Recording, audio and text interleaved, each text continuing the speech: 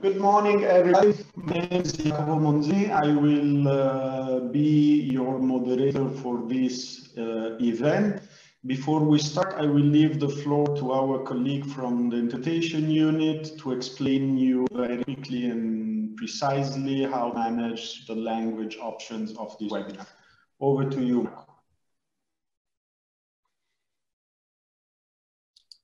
Can you hear me? One, two, one, two. If you need English interpretation or English audio, please select the globe at the bottom right corner of the Zoom screen. Select English for English or Serbian for Serbian interpretation, and also check the mute original audio button. Now Serbian. Ukoliko vama je potreban prevod neke vrste ili pak želite da slušate audio na engleskom jeziku, odabraćete globus koji se nalazi na dnu sa desne strane. Kliknut ćete na taj globus, ispod piše interpretation. Kada kliknete na taj globus, odabraćete engleski ili pak srpski i takođe ćete klirati opciju mute original audio. I'm going to do this on the second channel as well in case somebody is already listening to interpretation.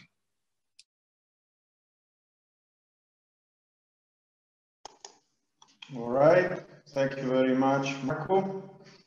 Uh, let's just go very quickly through today's agenda. We're gonna have um, a very interesting welcoming speech from four speaker, Natasha Milic, Director of the Water Management Directorate, Milan Zadra, Regional Head of Agribusiness Central and Southeastern Europe EBRD, Nabil Gangi, FAO Representative for Serbia, and Wafa Al FAO Investment Center Chief, Europe, Central Asia, Near East, Africa, Latin America, and the Caribbean um, Service.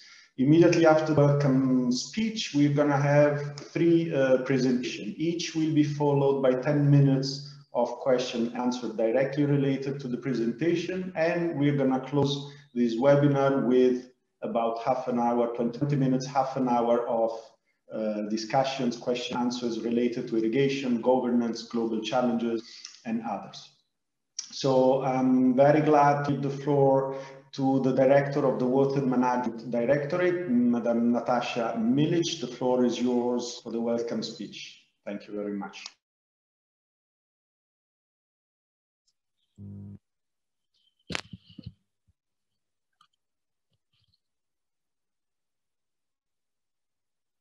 morning or good day, everyone. Warm greetings to all the participants of this well-organized webinar um, titled um, Irrigation Management. I will remove my mask so you can hear me slightly better. The uh, State Voter Directorate has the pleasure to participate in this webinar today.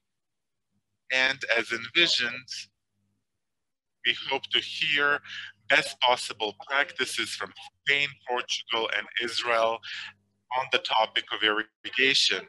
To begin with, I wanted to point out that the government of the Republic of Serbia has recognized this area of irrigation within the Ministry of Agriculture. Water irrigation is an important segment for the development of agriculture.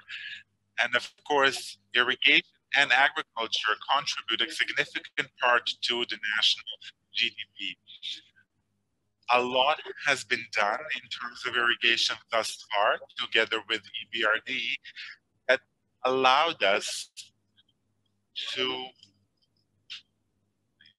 obtain loans to build certain structures in parts of Serbia. This was a donation, this was a grant uh, from EBRD and FAO, and we also managed to develop a strategy uh, for irrigation for Serbia. This document is very important without any doubt because only together with joint forces with all stakeholders and interested parties will be able to utilize this strategic document and the accompanying action plan to set up an irrigation system in the Republic of Serbia thus resulting in better agricultural production and better uh, climate change response. Climate changes are evident all around the world. We would like to thank everyone for their efforts. EBRD, FAO, all the experts that work with us, the participants of today's webinar, and we are waiting with impatience uh, to hear the uh, experiences of our colleagues from Portugal, Spain, and Israel uh, in related to irrigation and all other aspects of irrigation that we are very interested in. Thank you so much, and I wish us a successful webinar. Many thanks, Director, for your word and for your um, welcoming uh, speech. Uh, let me give quickly the floor to Miriam Strale, the regional head of the agribusiness Central and Southern, Southeastern Europe for the European Bank for Reconstruction and Development. Miriam, the floor is yours. Thank you.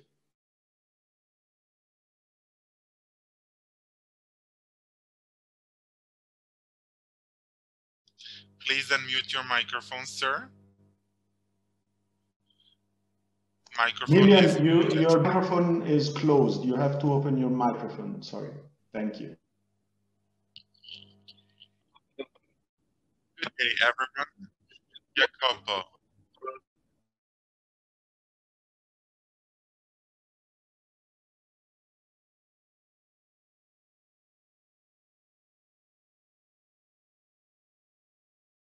written in the chat right now all the uh, okay. attendees can find the instruction. Instrukcije za prevod, uključivanje i isključivanje prevoda, kao i jako važna napomena isključivanje originalnog zvuka da ne bi došlo do preklapanja originalnog spikera i prevoda, nalazi se u četu. Hvala. E, dobar dan svima. E, ja ću onda ipak na srpskom. Nadam se da će ostali učesnici kojima treba... All other participants will manage to understand me. First and foremost, I would like to welcome our partners from the government of the Republic of Serbia and the uh, Republic for uh, Management Directorate, and also colleagues from FAO and all other participants in this very important initiative. I know this is not easy to organize. Organize live conferences is very strenuous, and this is an even greater challenge. Uh, I hope we, the situation will be much better in terms of the pandemic, and we'll get a chance to meet in person in the future. Thank you to the colleagues from FAO for organizing this. It's one of the very first events that, that we've uh, prepared together with other uh, partners. Um, within the strategy for irrigation of the Republic of Serbia uh, us at the World Bank, the agribusiness sector is an important sector. For the first time within our own strategy, we are actually dealing with irrigation itself. We understood that due to climate changes and everything that is happening, uh, irrigation is very important, especially in countries such as Serbia, countries that have potential to produce cereals, fruit, vegetables, and everything else that uh, is encompassed within agribusiness. As Ms. Natasha mentioned, we've already started implementing certain projects. We've signed the first contract, the grant contract, with the government of the Republic of Serbia and Serbia Waterworks uh, in the amount of 15 million euros for irrigation in and Stilinets. We hope this is only the beginning of cooperation that uh, uh, will ensure. We hope that uh, the government and all other stakeholders will recognize that this infrastructure is very important, that this irrigation infrastructure is important, and that with climate changes, uh, irrigation is, as important as road infrastructure, real infrastructure, and all other types of infrastructure. For that reason, with partners from FAO and the government of the Republic of Serbia, we agreed to develop this strategy in order to um, this is this is a document based on analytic uh, analytic uh, data in order to maximize the potential of agriculture in Serbia. Of course, we need to uh, pay attention to sustainable development and climate change when it comes to our strategy.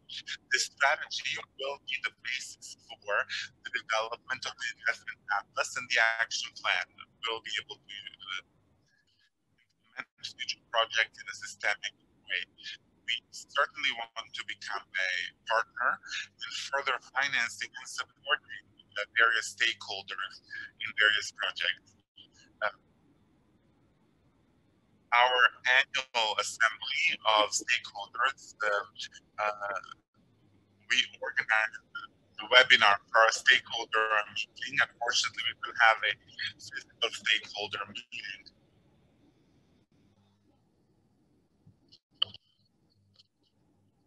Investments until 2025 will will have green investments. Um, uh, in that regard, uh,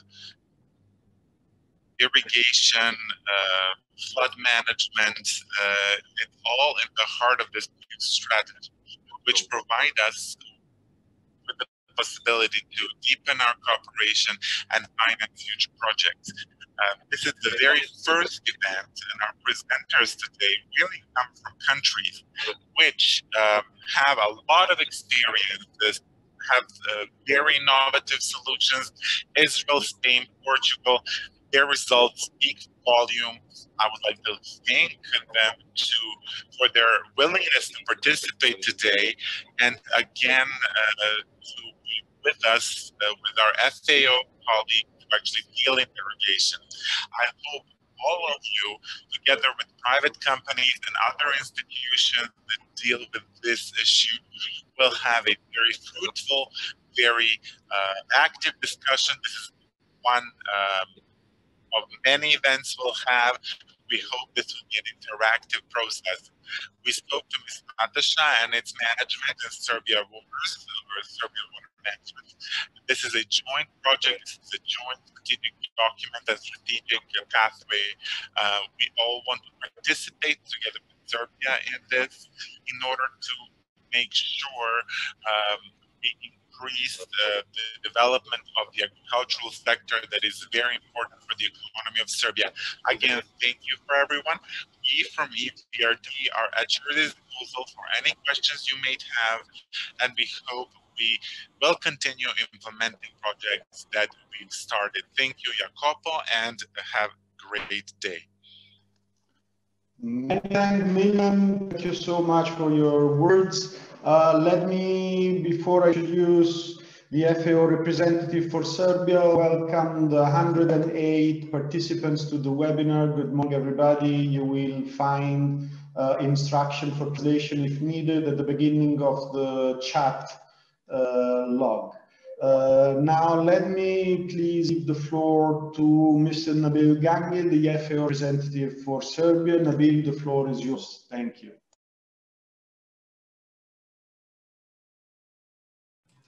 Thank you, Jacopo, distinguished partners, colleagues, ladies and gentlemen.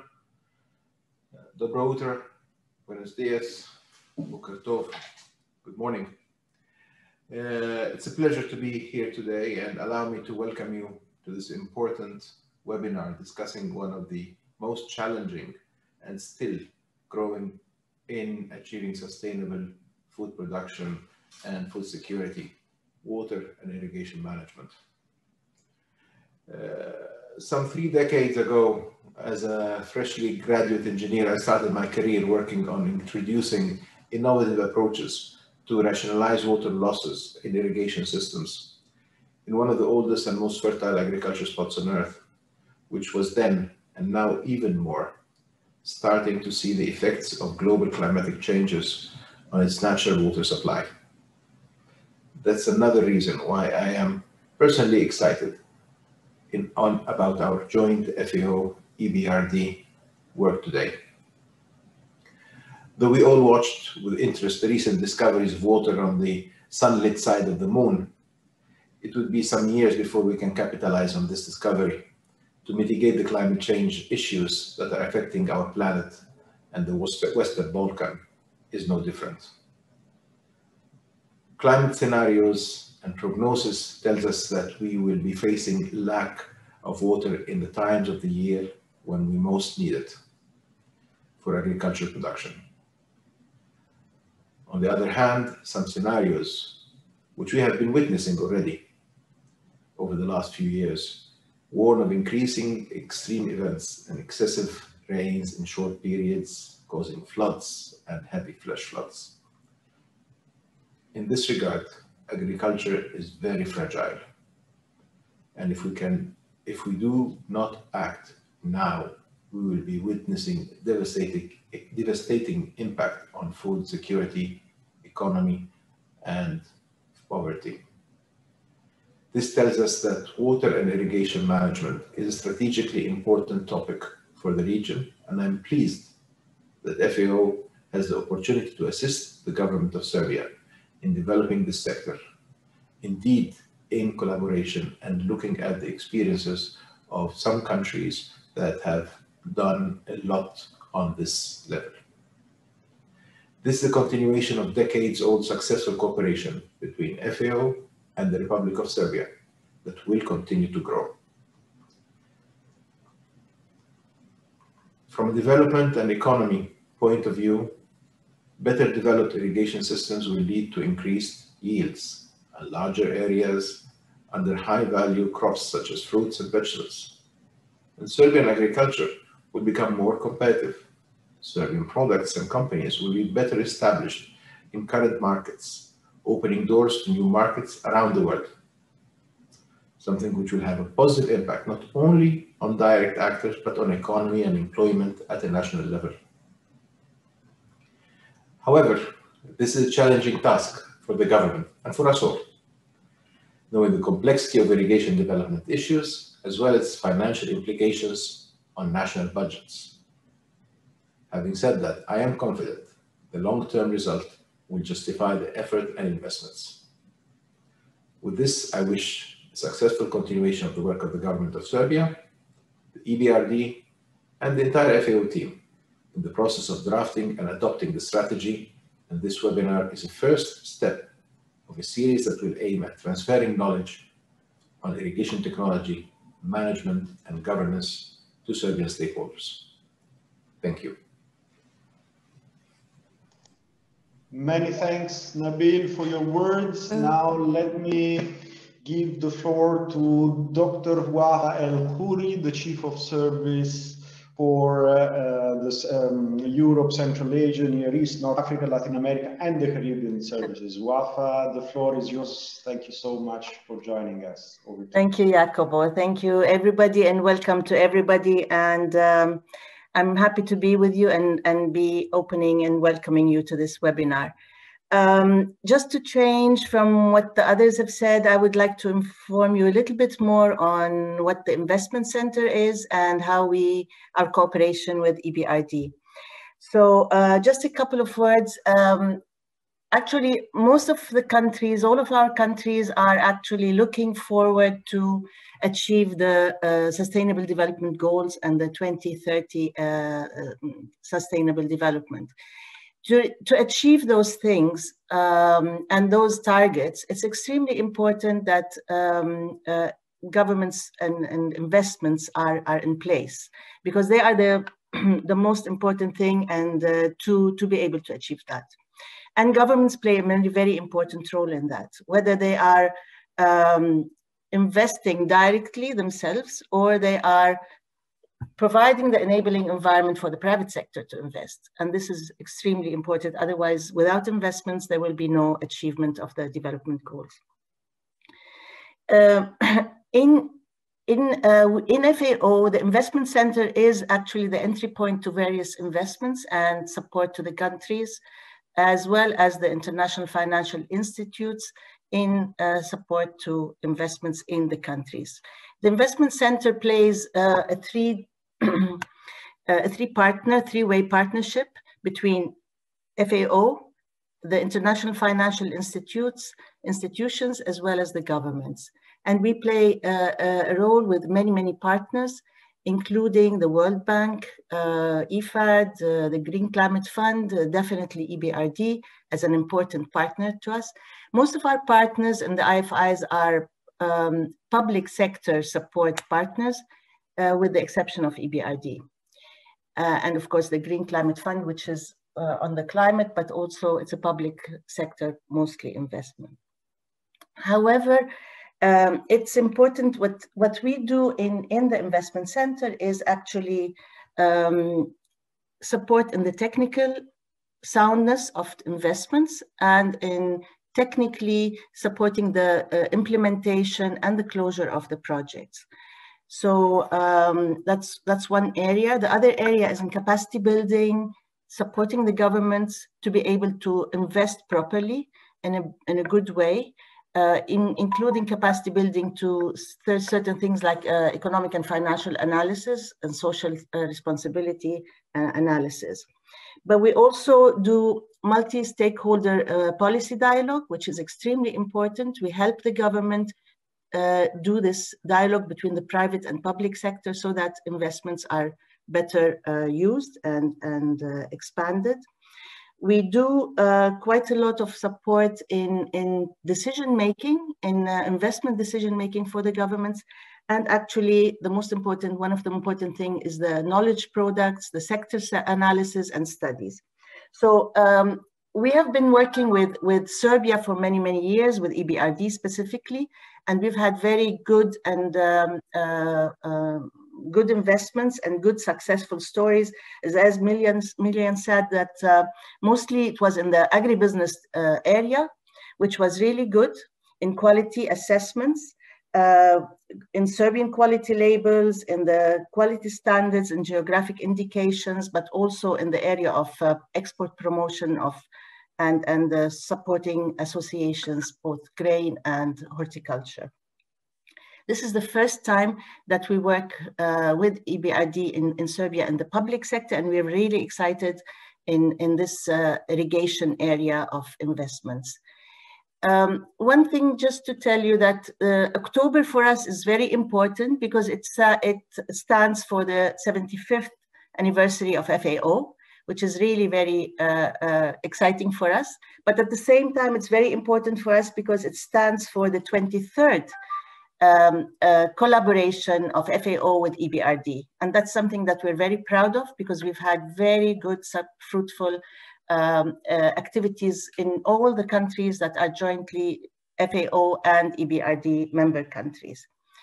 I would really uh, like to um, welcome you to this webinar and uh, wish you a very successful um, meeting, especially with the very, very high caliber experts who are coming here to share with us their uh, activities and their experiences in, in successful irrigation systems, governance, technology, and, and the various ways of making it really work. So I really wish you all a, a very successful webinar, and I'm looking forward to also to hear, uh, like you, all these new uh, uh experiences. Thank you so much.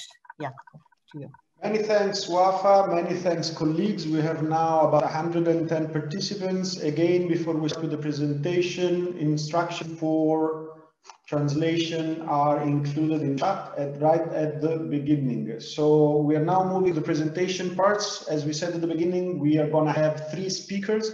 Israel, Spain, and Portugal will share with us the presentation. Let me start with the Israeli case study. Let me welcome uh, Mr. Ra'an Adin, who's the CEO and chairman of the Israeli Water Association and has over 30 years of experience in managing vision related to irrigation technology um, and irrigation, of course, uh, technology. The presentation will last 20 minutes.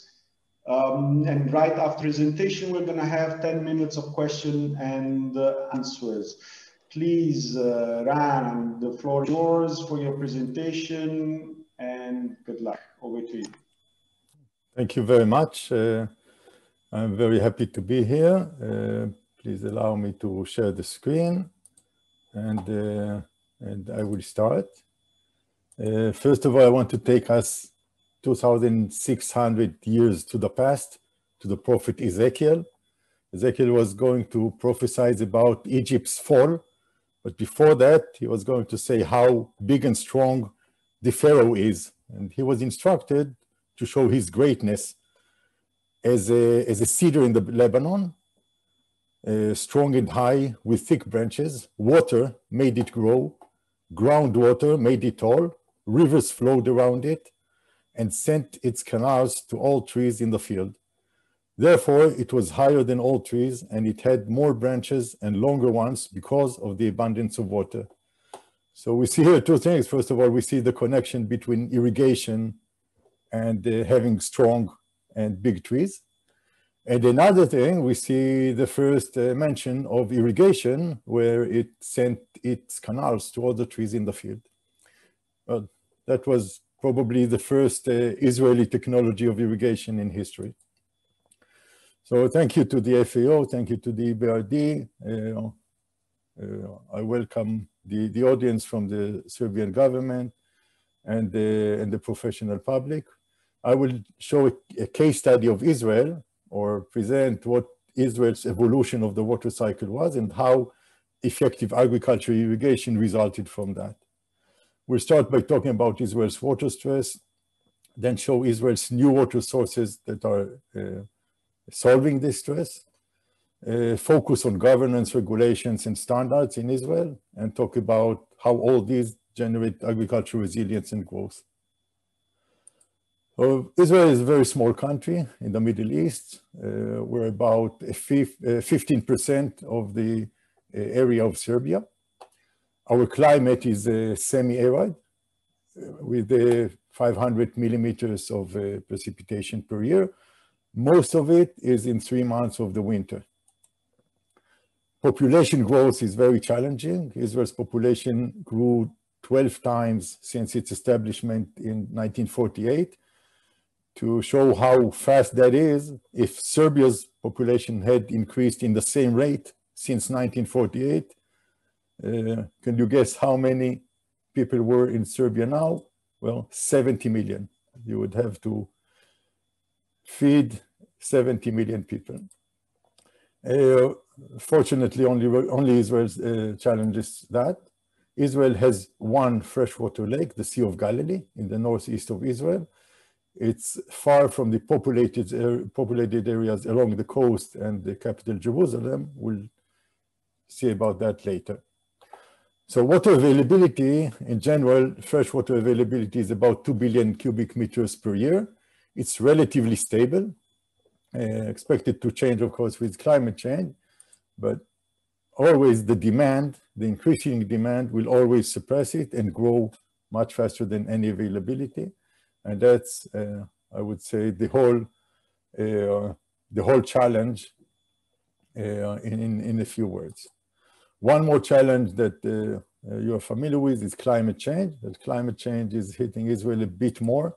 Temperature increase or the rate of temperature increase in Israel is about uh, one and a half times faster than the average temperature increase in the world. So all in all, uh, that's what we have. That's what we have to live with. And this water stress has been with us uh, for many decades. So let's see what we, what we do with this. Uh, what are the new water sources? Uh, first, I'll talk about water saving. Water saving, every drop counts, started even before the establishment in Israel and it is uh, the most effective and the most cost-effective uh, way to generate more available water. It's being taken in, in that aspect is Israel and considered almost as a water resource.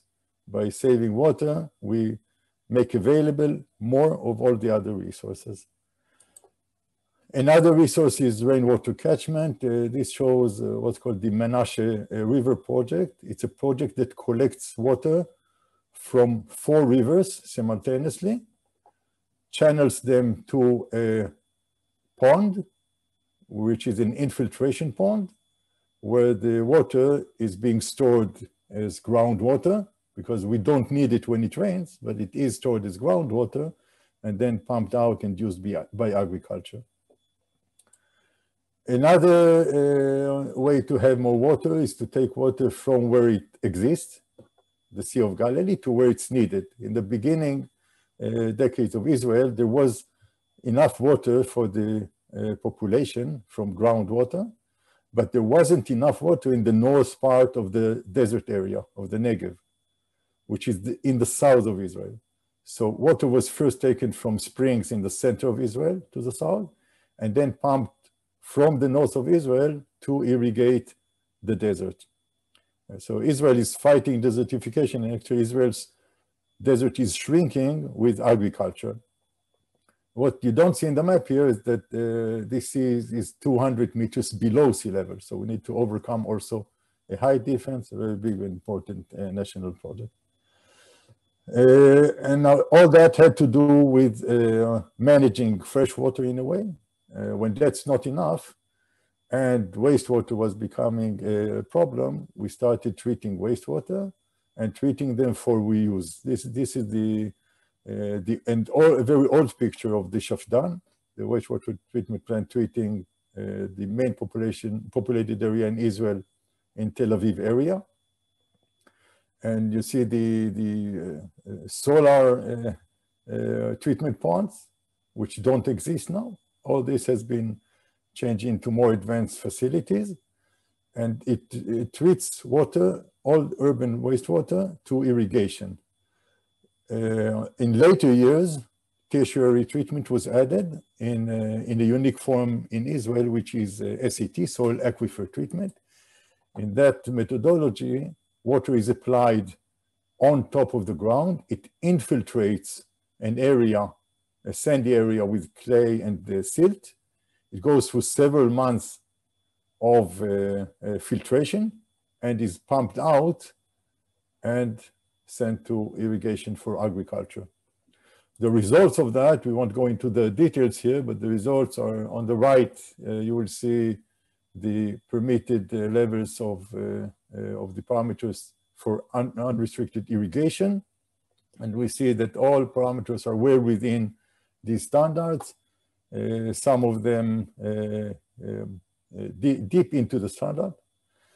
Uh, what we don't have, and I'll just mention it uh, uh, shortly, are, are, risks that we still have in wastewater because wastewater can include pollutants uh, Uh, such as uh, heavy metals, nanoparticles, and pharmaceuticals. Some of them are already entering regulations, uh, not all of them yet.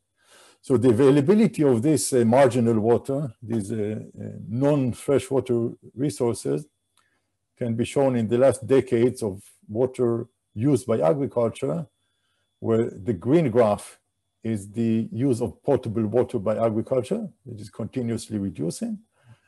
And the blue graph is the use of marginal water, mainly treated wastewater uh, by agriculture, where uh, you can see that the total amount of water does not increase. Total amount of water used by agriculture does not increase, even though agriculture production does increase continuously. Additional water is still needed. Israel has been uh, using a cloud seeding or rain enhancement by uh, flying and uh, dispensing silver iodine in, into the clouds when weather uh, is uh, appropriate for that. it has been shown to be to increase rain in up to 14%, which is a fantastic present from the skies. And uh, the well-known uh, recent uh, addition to water is desalination, seawater desalination. Israel built five uh, large desalination plants of the largest in the world in 10 years, starting in 2003. And these supply now more than 60% of the drinking water uh, to urban areas in Israel. Uh, but in all that, we, we talked about the water quantity, what we need is to pay a lot of attention and uh, specifically with desalination to the water quality. When we remove the salts, we remove the minerals that we need, but also that the plants need. And we, we could, by uh, irrigating with desalinated water or with too much desalinated water, we could cause damage to agriculture that you see in the picture on, on the left, or deterioration or deficiencies in important minerals and uh, also affect the ground uh, by increasing the, the SAR, the sodium absorption ratio, which is uh, uh, dependent on calcium and magnesium uh, ions. And, and with this, we need to be very careful. Currently, we are not irrigating directly with desalinated water unless it is also mixed with other types of water and these parameters are being uh, balanced for, for the safety of the agricultural products.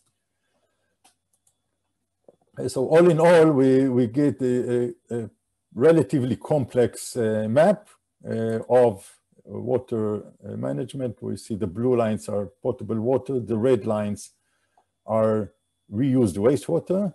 The green lines, mainly in the south part, are saline water, which are also an important water source. And altogether, this needs to be managed with the new desalinated water uh, along the shore and two more plants, the red ones, are being built in, uh, in these coming years. And uh, that's the role of the uh, water authority. All these uh, water resources with different qualities are available to agriculture. There is also a pricing system. Agriculture that uses potable water will pay more than agriculture using uh, marginal water, and it will pay different uh, different prices for different qualities of that marginal water. The, the highest price is for using potable water in agriculture in locations where alternative water exists. Right? And that in a way uh, motivates uh, the agriculture to use uh, these different uh, types of water. And, and, today there is a, a, demand for, for, these, uh, for the reused water in agriculture more than there is to uh, potable water.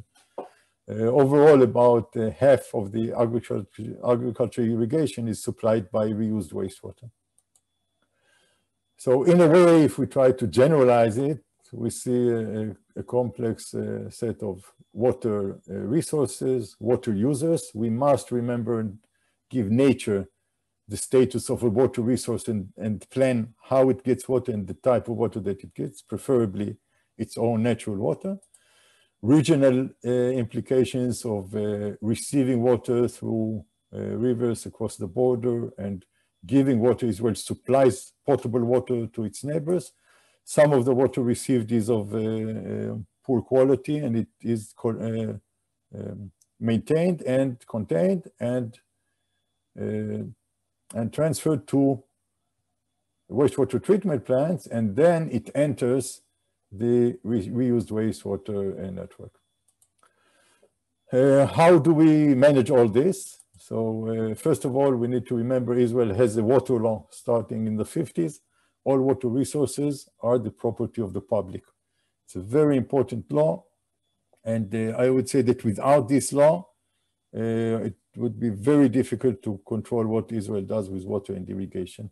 There was one preceding law that forces every supplied water to be metered, because without metered water, uh, it's meaningless to say that we are trying to manage it. A more recent law says that water will reflect its true cost and assure effective use of water, and we saw part of that. Main institutions uh, related to water are the National Water Authority and the Ministry of Water Resources. The Ministry of Agriculture, which has regulation, legislation, and guidance, will focus on that a bit more. Ministry of Health, which uh, regulates water quality and effluent quality.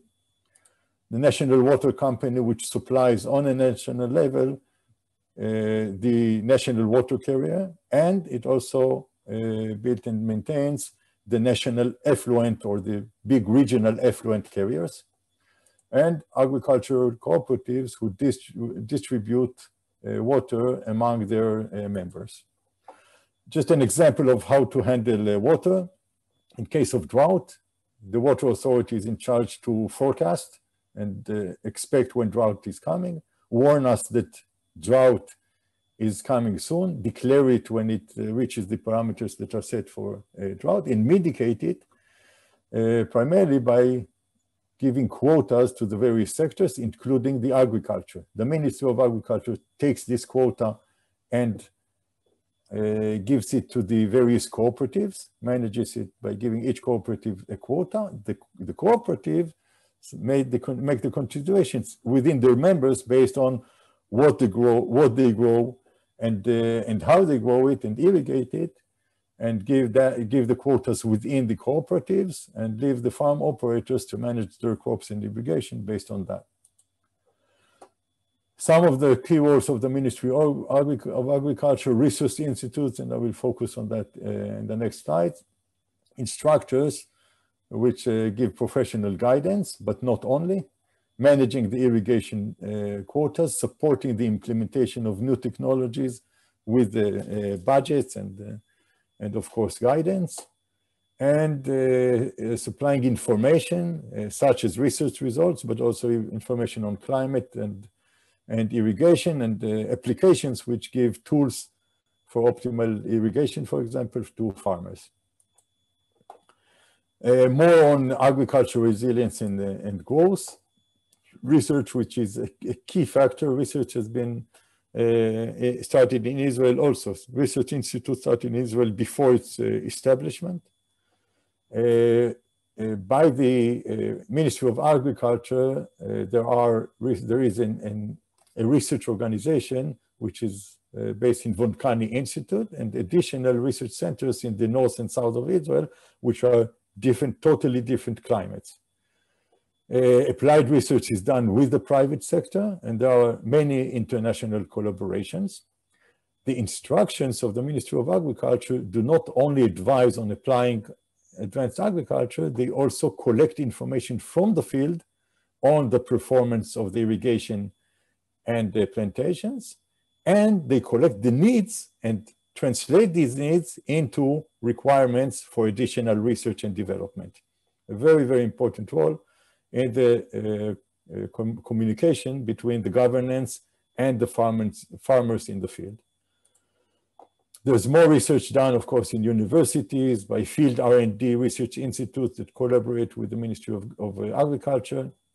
The Israel Innovation Authority, which funds uh, basic research, international collaborations, and the Israel Water Authority, which funds research in water, including research on uh, irrigation and the uh, relationship between water and uh, water of the agriculture and water resources. Uh, the main research topics which are handled by the uh, Agriculture Chief Scientist Office is optimizing the use of water from various sources for irrigation. Uh, for example, how to use uh, saline waters, uh, who can use saline water, what crops could be adaptable to using saline water, uh, using uh, effectively using uh, reused water, and then prevention of polluting the water by agriculture activity, which is the Ministry of Agriculture protecting water resources for everyone practically. Intelligent uh, use of uh, various water qualities, agriculture use of soil additives, uh, including sludge, which is an outcome of wastewater treatment, and development and impl implementation of decision support system and, and, streamlining irrigation management and control, and that brings us also into digital agriculture. There are various irrigation technologies. Uh, most of you are familiar with them, each with, with its different efficiency. Uh, an irrigation system is a complex combination of many technologies and many, uh, many advancements which are continuously done and continuous. They need to be considered when applying them and uh, trying to optimize. All in all, when irrigation technologies are used, uh, you can see in Israel that water use does not change while productivity of the agriculture is uh, continuously increasing. This is over decades. A few technologies, uh, a, a, very simple technology, but complex in thinking of bringing water from dew and from precipitation closer to the trunk of a tree. A sensor which is put inside the trunk of a tree based on research that, research that showed that stem water potential is uh, proportional to eventual fruit weight.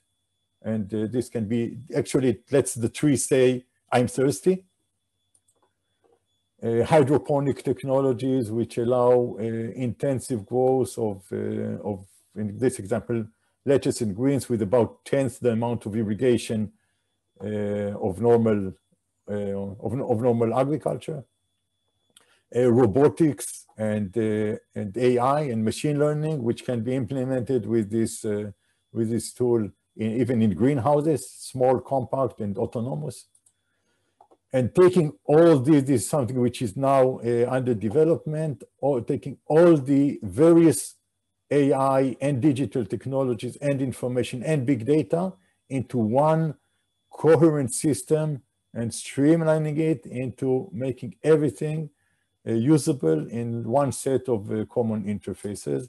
This, I hope, uh, will be next year's case study uh, in, in next year's webinar.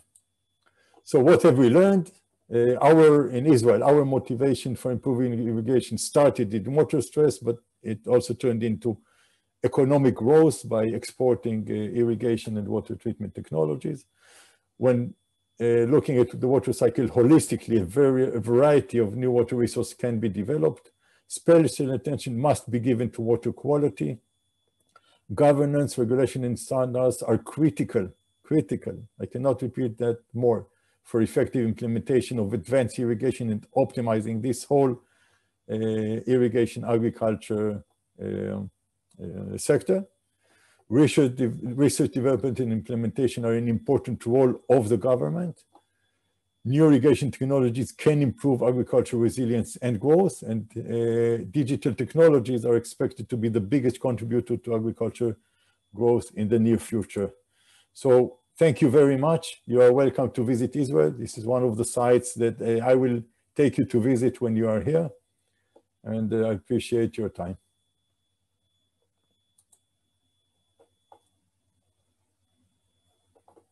Thank you very much, Ronan, for this very uh, intense presentation with plenty of uh, data and uh, information. Let's now move to the question and answer side. I will, uh, if you allow me, uh, I will break the ice with a series of questions that we received via chat, other means, because at the beginning, for some technical reasons, and apologies for this, the Q&A tool was not really working.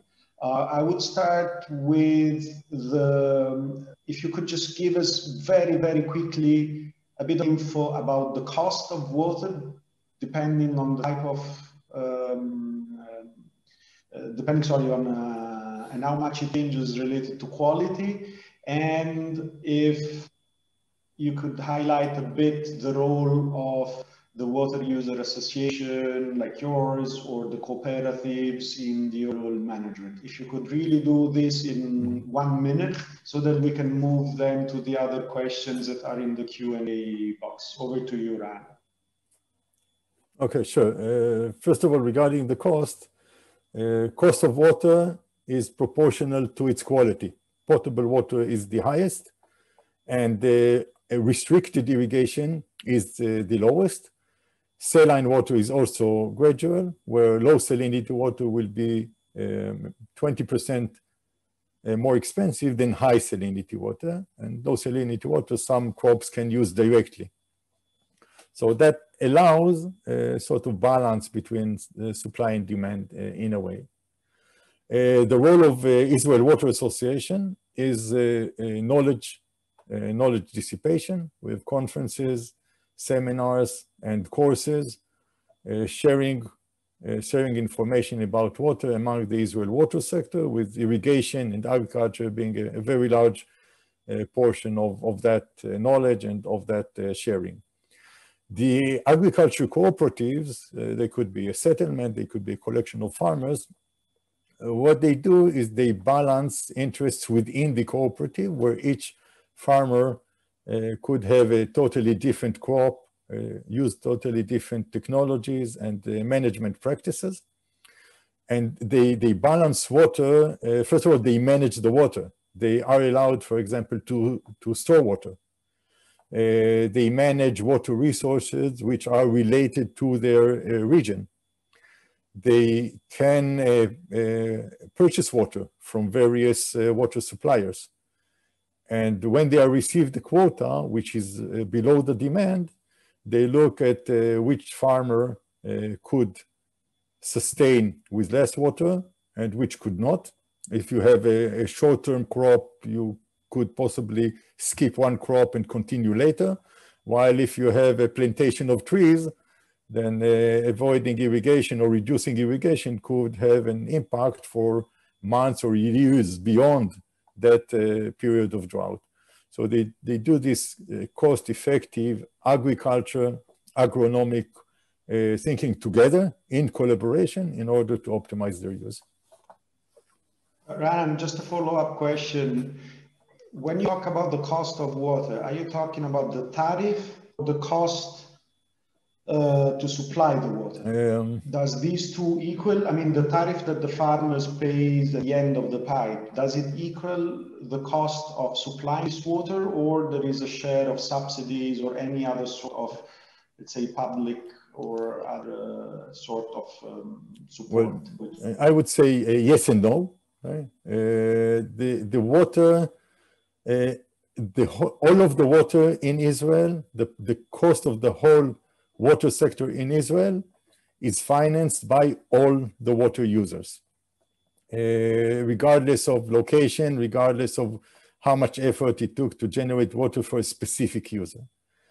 Agriculture is paying less for potable water, and uh, uh, it, it is in a way subsidized by the rest of the market. But if, if I look at myself as a user, uh, I can uh, explain it by having that part of the cost of the agriculture product that I eventually buy in the supermarket. So this, this cycle, in some ways, it does close uh, even outside the economy of the water sector. Uh, I would say that reused water is priced more accurately However, part of the reuse of the water is the treatment of the wastewater, and the initial treatment of the wastewater is funded by the water user. Because if we take a reuse out of the equation, we still need to treat the water. Still need to treat it for recharge, uh, for, for, for discharge, for example. So uh, the main users of the water pay for the water and for their uh, initial treatment. And the farmers eventually pay for the more advanced treatment and reuse of their specific types of water. Thank you very much. Let me move to another question from one of our uh, attendees. Uh, can the development of irrigation infrastructure be improved by increasing the price of irrigation water? I mean, how the two works? I mean, can you please just let us know your, your thoughts about well, well definitely uh, infrastructure is important. Uh, in, in, some countries in the world, precipitation used to be uh, a sole resource of uh, irrigation, but climate change is forcing nations to invest in national infrastructure for irrigation. Uh, through closing, what Israel did is it closed the, uh, the water sector economically Meaning now, if we want to have a, an infrastructure project, we need to see how to fund it.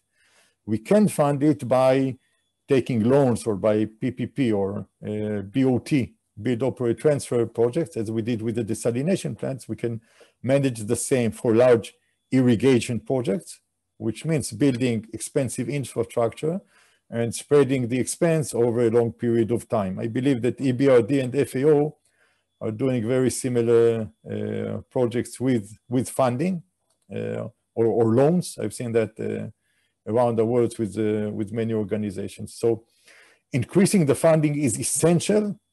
How to do it in a reasonable way, not but just pouring money, but by looking at the long-term impact and the long-term value of that water and how it will uh, increase agriculture, a more logical financial or, or or comprehensive financial consideration can be made. Right, thank you very much. Let me let me also ask you a question related to ancillary infrastructure. Uh, if you could quickly answer, I mean, like how energy needs are balanced for the water sector in Israel, because it seems from what you presented us that also the energy needs and requirements are substantial. And I think it's a good point to understand this uh, nexus between irrigation and availability of good, I mean, cheap energy, or at least at a subsidized price. Over to you.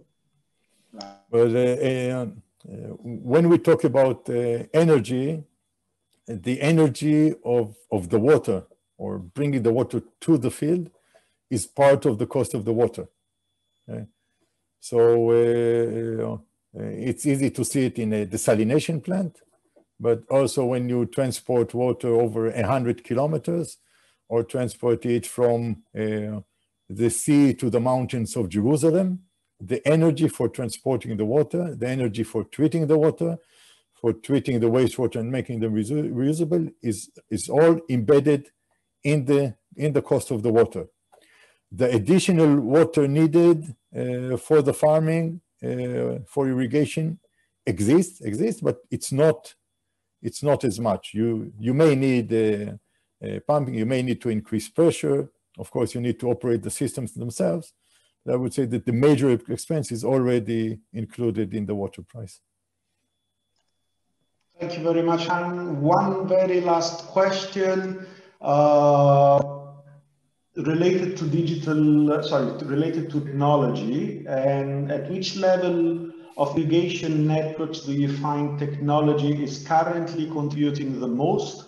And where do you see the biggest potential for the future? And please, when, when you think about the future, think, think also in terms of global challenges such as climate change and others. Over to you, Ranan, for like really one minute answer, please. Okay. I'll try to do it in 59 seconds. Okay. well, I would say that that the uh, the fundamental uh, found the, the foundation of a fundamental issue in implementing technology and digital technology is uh, sensors. Having sensors uh, giving us real time uh, measurement of water quantity and water quality in the irrigation systems, in the fields, in the trees, in the plants, and in the air, as we saw. Once we will have this, everything else is building blocks on top of that. Uh, of course, bidirectional communication that allows us to add, reduce fertilizers, open, close valves is, is also contributing. Uh, I would say that uh, the most important and the most valuable is spreading as many sensors as possible in, and giving real-time uh, data to the users and to the managers. Perfect. Thanks so much, Ran. Uh, if we, I mean, I will just uh, move the next presentation. Uh, let me first thank again Manan for his contribution. Remember, questions could be either in the Q&A tool below or a chat. Now that the Q&A works, please, I would appreciate if you could use this. It makes my life much, much easier. Now, let me introduce you Immaculada Bravo Dominguez. He's an agriculture engineer working at the Ministry of Agriculture, Fishery and Food for the government of Spain. Welcome Immaculada. Immaculada specialized and work in irrigation transformation and modernization of investment projects. We do believe this is extremely active for Serbia um, as well. We have seen with Israel a situation of high water stress which combining demography and climate change could also be the case of countries like Serbia that disposes of much higher amount of water, but in a business as usual scenario, this could be the very near future. Let's look now at Spain. Immaculada, your, the floor is yours. Please feel free to share the screen and show the, uh, your presentation. Over to you. Good morning, everyone. I'm going to share my screen.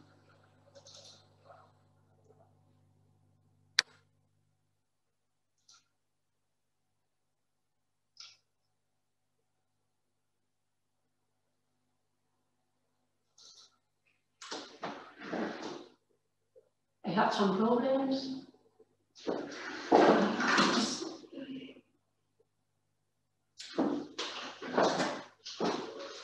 Excuse me.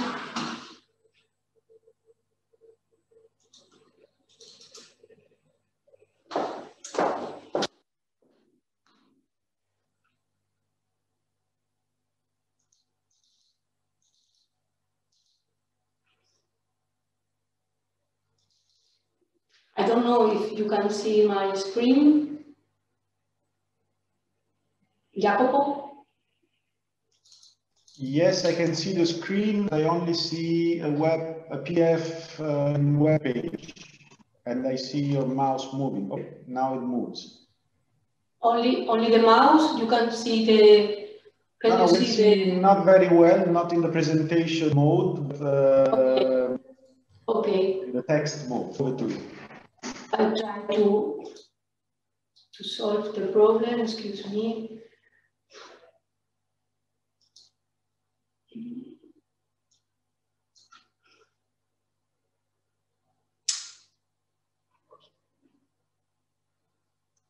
Sorry, I try to, to do the presentation in this mode. I hope everything is okay, more or less.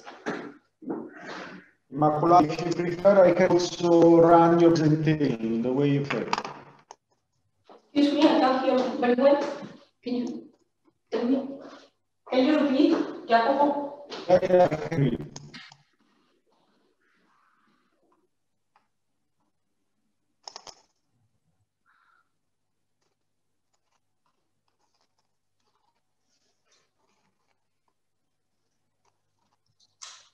Please go ahead. Sorry? Please start. Okay. I'm going. Uh, good morning, everyone. Uh, sorry for the inconvenience of the presentation, uh, but uh, today is a, a, bad day because I, I can uh, get a, a better room for this presentation. Excuse me. Thank you very much uh, for the invitation to this webinar on irrigation networks development and management. This is a pleasure for me to be here to present the case of irrigation in Spain. I work for the Spanish Ministry of Agriculture, Fisheries and Food. Within the ministry, I work specifically in the Subdirectorate of Irrigation, Natural Roads and Rural Infrastructures. I'm going to explain the Spanish irrigation policy.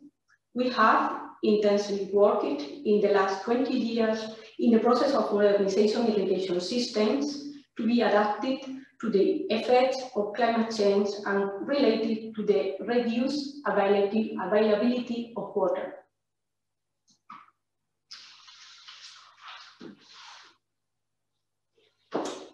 I'm going to present the Spanish irrigation in three sections.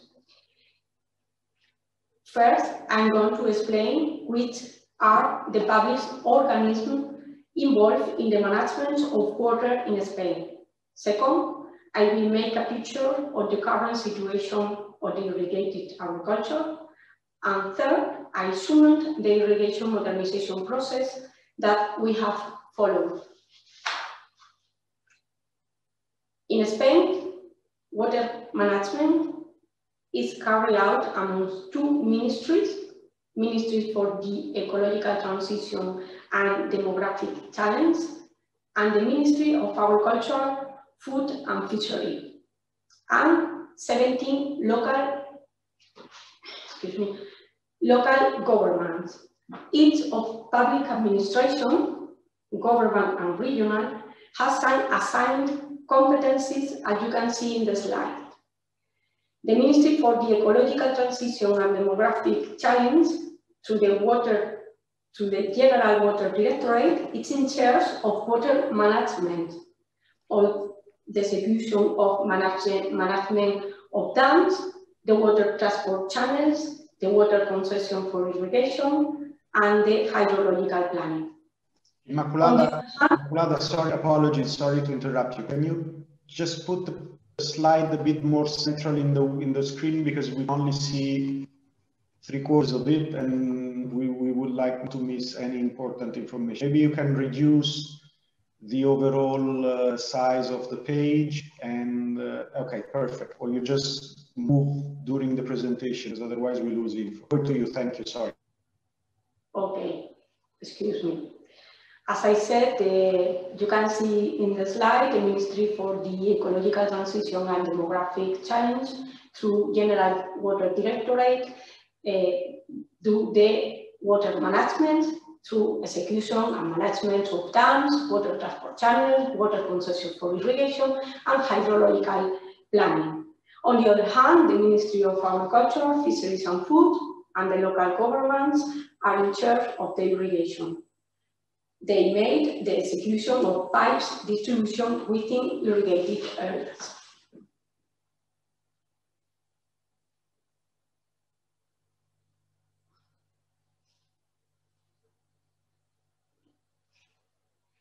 This map shows the distribution of rainfall in Spain.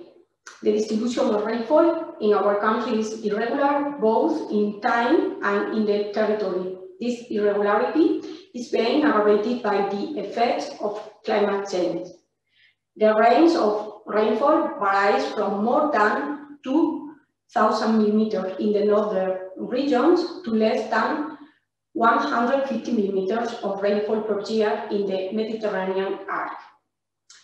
In this map, in green, the irrigated area are marked with, as can be seen, coincide with the yellow area, which are those with the least precipitation. This situation is the main reason why in Spain irrigated agriculture is so important.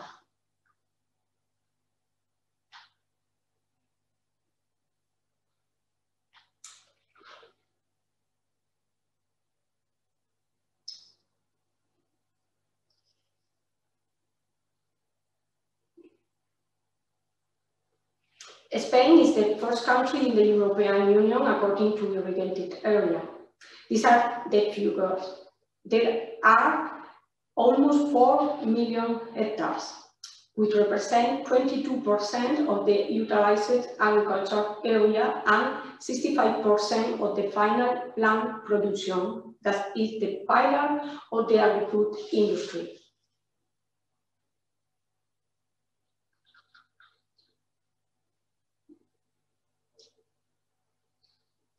The advantages of irrigated agriculture in a country like Spain, eminently agriculture and at the same time with an irregular distribution of precipitation, territorial and throughout the year are multiple.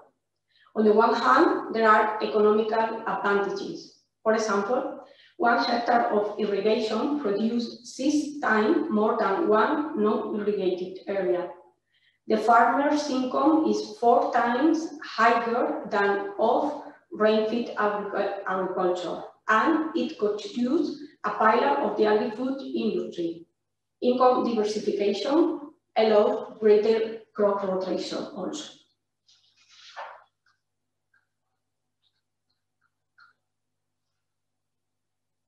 On the other hand, there are social benefits.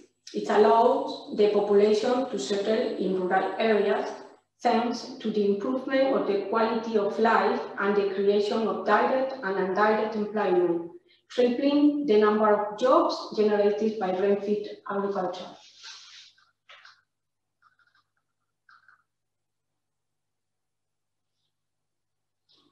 And finally, there are also environmental advantages.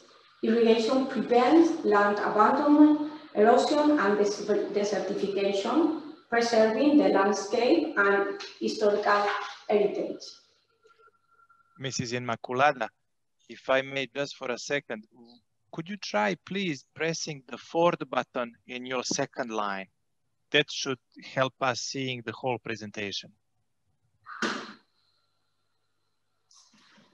some problem because the, the room is very big and I don't have enough, Uh, I don't know how to say, for, for using the, the mouse. I have some yeah. problems. And... No, if possible. If not, no worries. I mean.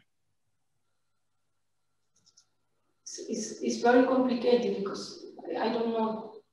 Can you see the, the presentation already like this? Well, the, the thing is that we cannot see the whole slide actually. And then when you are changing slides, we cannot follow, we are missing parts of the slides. But if not possible, don't don't bother with this, just proceed as it is. No, no worries. Sorry, I can sorry that I can do anything.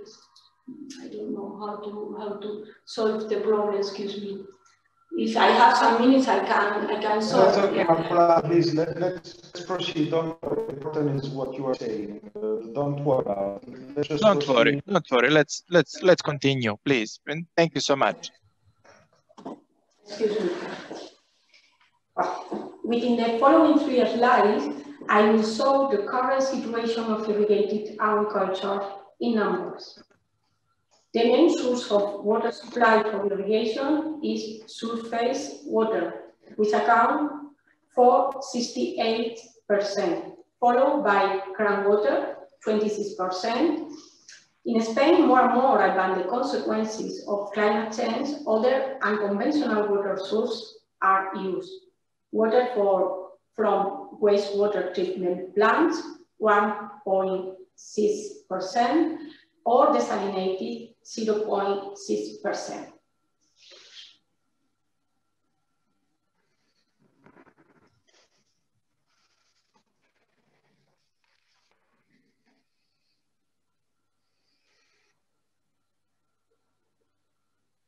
The main irrigation system is drip irrigation, 53%.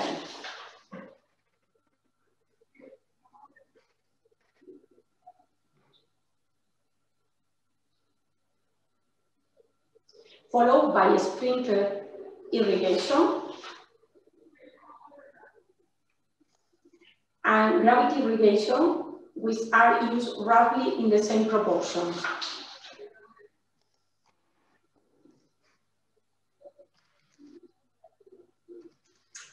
On the slide, you can see the evolution of the irrigation system over the last 20 years as a result of the joint effort of public administration, general and regional and irrigators. All of them have worked to have a sustainable irrigated agriculture from an environmental point of view, implementing better technology for the efficiency use of water and energy.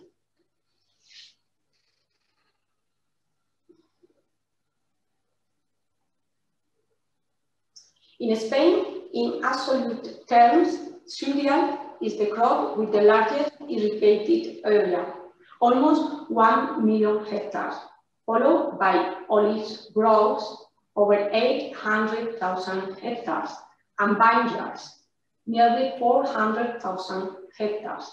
However, in relative terms, almost all the citrus and vegetable cultivated area is irrigated.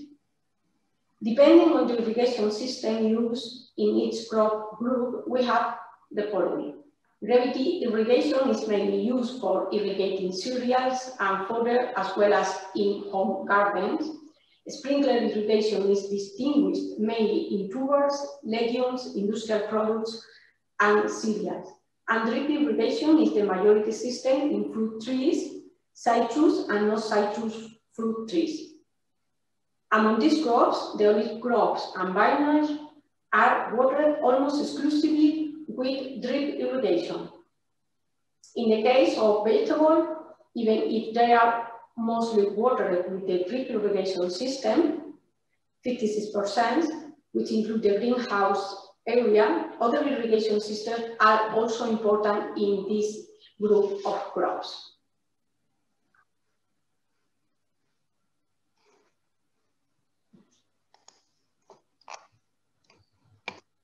To get all the numbers that I have already shown in this presentation, there has been a great process of modernization Spanish irrigation over the last 20 years in terms of, of infrastructure.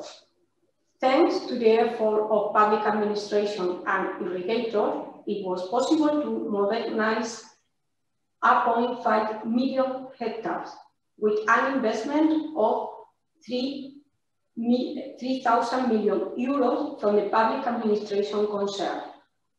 The result has been more technical irrigation areas in which new technologies have been incorporated, resulting in irrigation better prepared for the challenges of the future.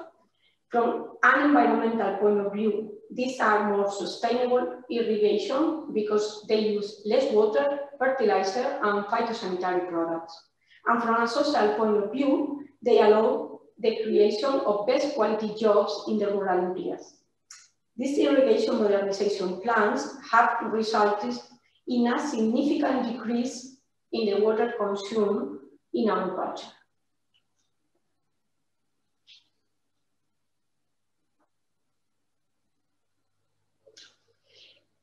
In the next three slides, I would like to explain the irrigation policy in Spain which is based on three main actions. The most important is action in infrastructures.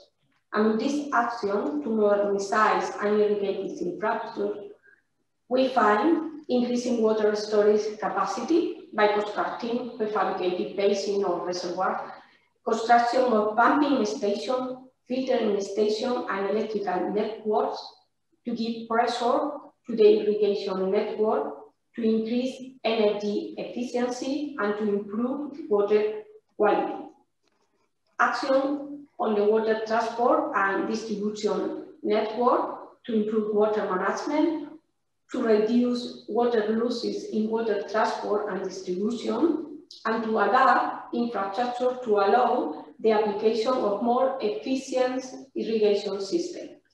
Introduction of other water resources, recycled water, desalinated water. The use of recycled and desalinated water in agriculture reduce the pressure on natural source of water, allowing its release for other uses.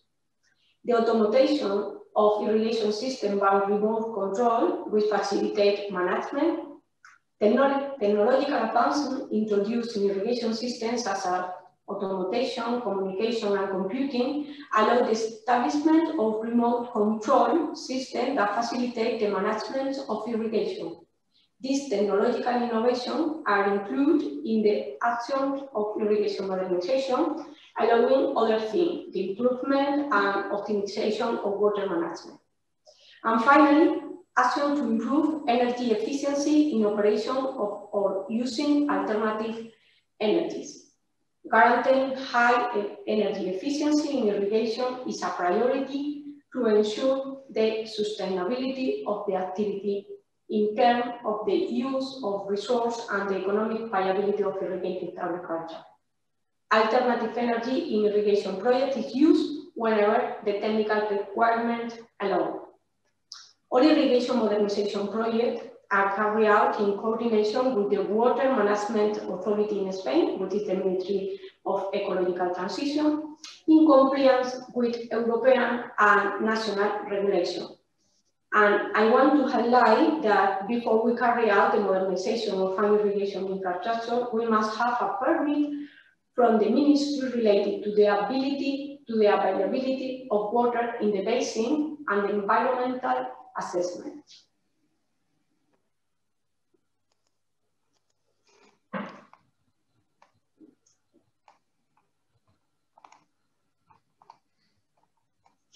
The second type of action in the irrigation policy is technical advice to irrigators.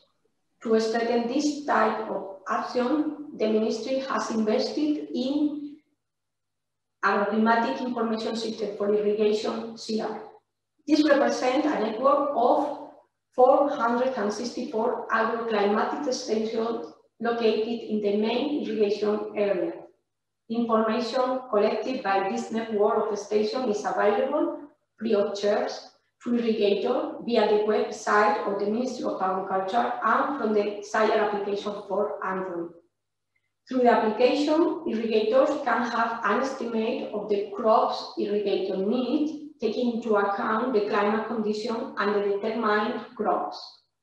On the other hand, we also have the National Center for Irrigation Technology, where the central laboratory, laboratory for testing irrigation materials and equipment is located. This place supports the sector by collaborating with manufacturers and users in the development of test methods, in the characterization of equipment, and in the study of the behavior of material and design prototypes. At the regional level, there, are, there is an advisory service for irrigation. There are technicians who inform farmers about technical and environmental issues related to irrigation. To irrigation.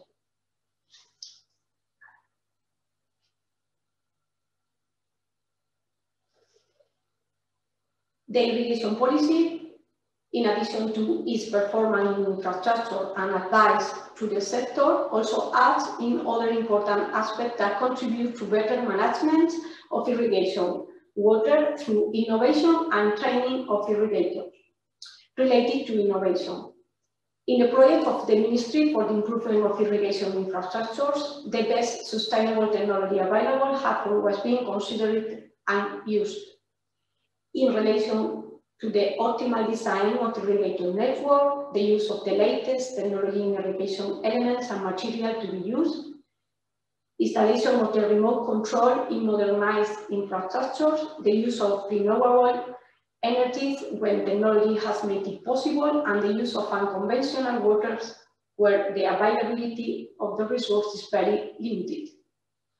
To promote innovation, the Ministry, through the National Rural Development Programme financed by the European Agricultural Fund for Rural Development, subsidized the execution of innovative irrigation projects, among others. And in relation to training, 10 technical training days per year are included in the continuing training plan for rural technicians of the General Directorate of Rural Development of this ministry. They deal with technical and regulatory issues related to irrigation, thus acting the ministry as a transmitter of knowledge to the sector. In the past, when there was not so much training information available, the ministry organized a one-year master to train technicians who would later work on the maintenance and management of the infrastructure that the state was building.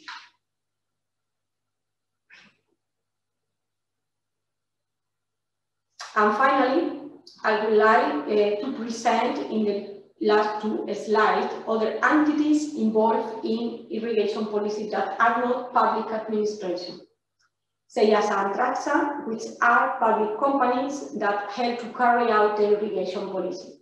The Ministry of Agriculture, Fisheries and Food has an agreement with the public company SEIASA for carrying out the modernization of irrigation infrastructure. SEIASA belongs to the State Heritage Group, the Ministry of Finance and Civil Service of Spain, and is, in, is an instrumental company of the Ministry of Agriculture through this General Directorate for the modernization of irrigation envisaged in the National Irrigation Plan and declared of general interest. The Ministry of Agriculture, Fisheries and Food has an, an agreement also with the public company TRAGSA for carrying out other issues related with the irrigation policy and the reduction of projects of rainfed transformation to related areas, research or development of applied tools like SIA. And finally, but very important,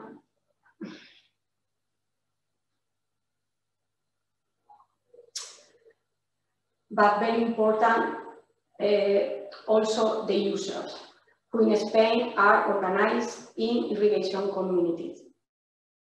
65% of the water resources available are demanded by the irrigation sector.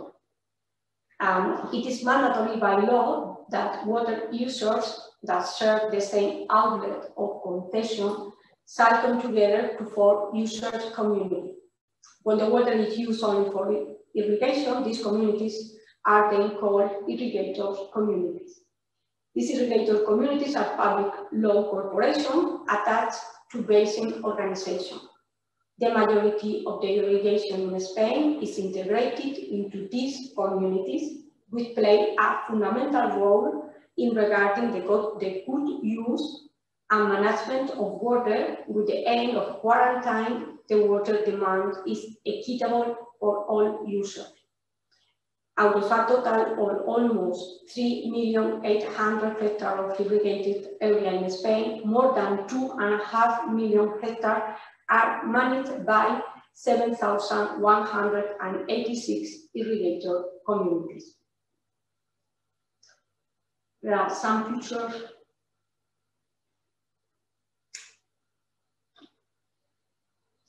This is the gravity um, final drip irrigation that this the method of irrigation that we use uh, in 53% of the total area irrigated. And there are some other pictures of the some dams and some stations of pumping. Thank you for your attention. I'm very sorry for the, the problem, the technician problem. I hope this presentation uh, is useful for all the, the, the, people who is connected and excuse me for, for this. Immaculada, many, many thanks. Don't worry about the technical issues. Very interesting presentation. I was very impressed to, to, to discover the gigantic social engineering that was built around the irrigation and how much the soft investment plays um, a crucial role in making the investment in infrastructure effective. My understanding, and move to the question immediately, is that we can't only think in terms of cubic meters of concrete and volumes of water transported from A to B, but we really need to carefully look into the social engineering and into the economic engineering of the process. We do have a series of questions. Let's start with some technical questions which I, I kindly ask you to answer very quickly. One comes from uh, Ismail uh, Uda and is asking what is the role of private investment in the modernization effort. So not just in the initial construction, but also in the moving forward the irrigation theme in Spain. Over to you for a very quick answer. The, the private company um, are the, the companies that uh, made effectively all the infrastructure.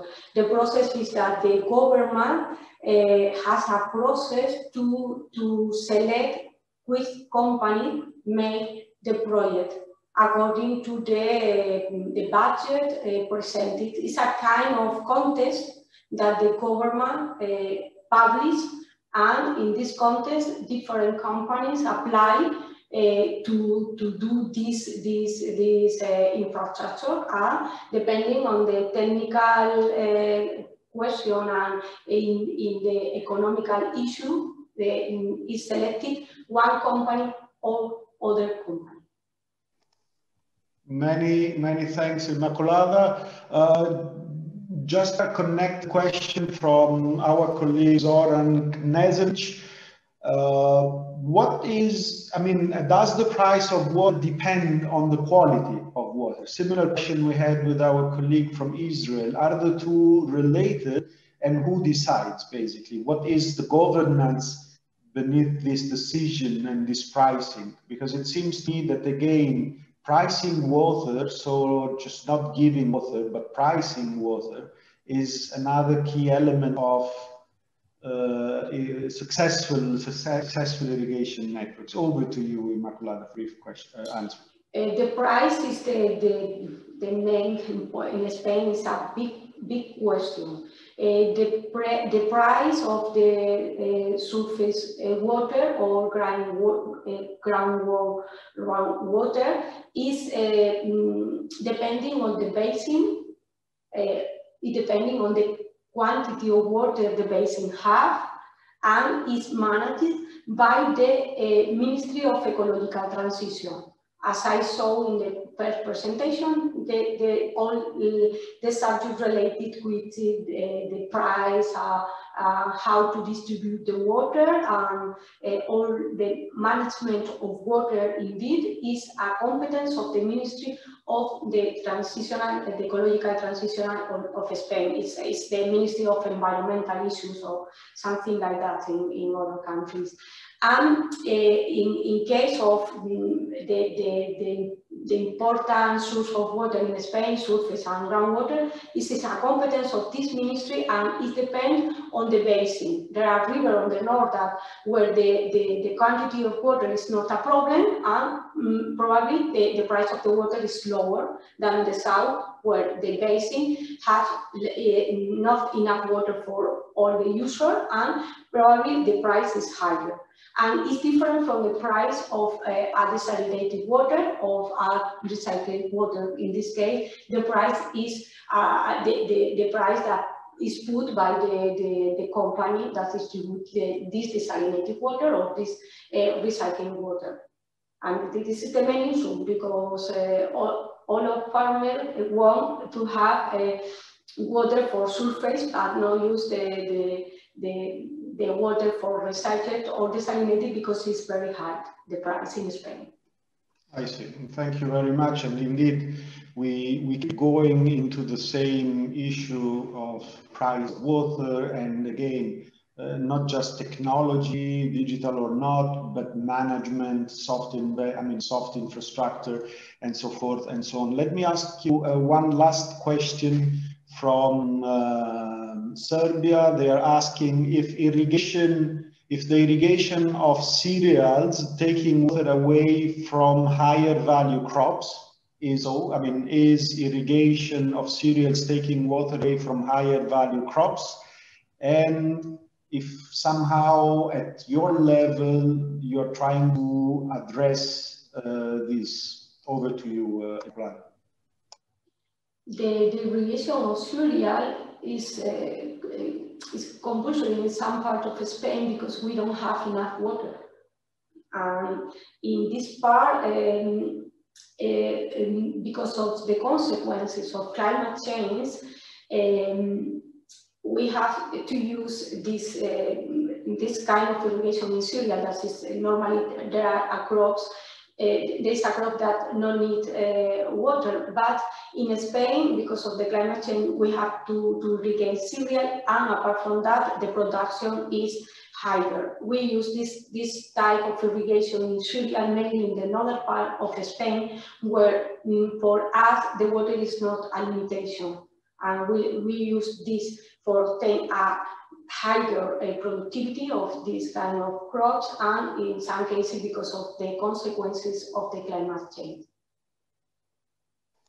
All right, thank you very much, Immaculada. Just a brief reminder at the end of the webinar, we will uh, send an email to all participants with a series of you know, brief answers to all the questions that have not been answered during the um, the, the webinar due to time constraint. Let me now uh, briefly uh, thank Immaculada for her presentation, for showing the complexity of mixing, making functional the, the, the, soft and the hard infrastructure and how there is clear need for both institution, private sector and other and all the involved actors to be at the same table and work to make the system working. Uh, now the floor goes to Mr. Jose Pedro Salema, is the CEO and chairman of EDA, EDA, a Portuguese public company that responds that is responsible for managing uh, the Alcaveda, Alcaveda, sorry, uh, project that provides series of services such as hydropower generation, water distribution, and of course irrigation to over 120,000 hectares. Jose Pedro, many thanks for joining us. The floor is yours. Please feel free to share your screen. Over to you.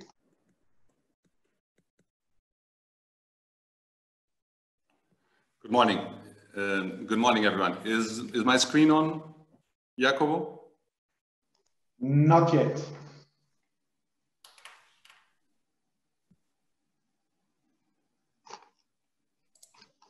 When we wait for the screen to be shared, let me also remind you that this webinar, of course, is recorded and you will receive with the answer, the unanswered question, the link as well as the presentations. Over to you, uh, Jose Pedro. We see the screen, please. Okay.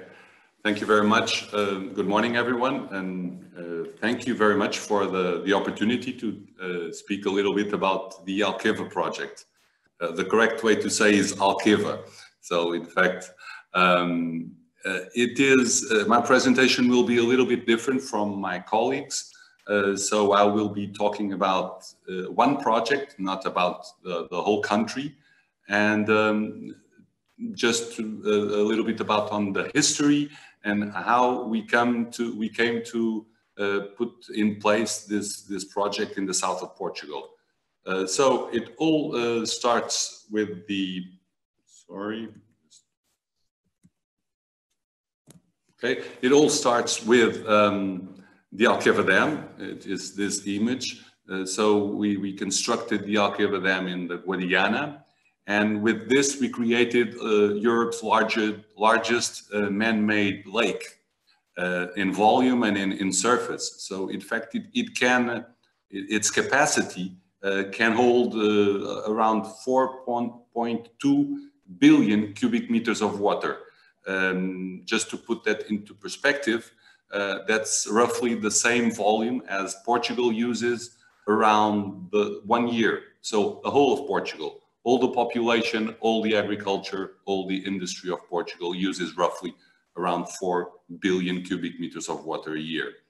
Uh, um, this uh, this uh, river that we are uh, um, capturing water from is the Guadiana. Uh, it is an international river that flows from Spain and most of its basin is in fact, its watershed is in fact in Spain. And, and so we had an, an, an a very sensitive issue uh, to uh, construct this because we had to come to an agreement with Spain uh, in order to have uh, minimum flows and guarantee the, the success of all these projects. Um, irregularity uh, and, and climate change is not a new thing for us. Uh, it's around the globe, but here in the Mediterranean climate, it's very dramatic.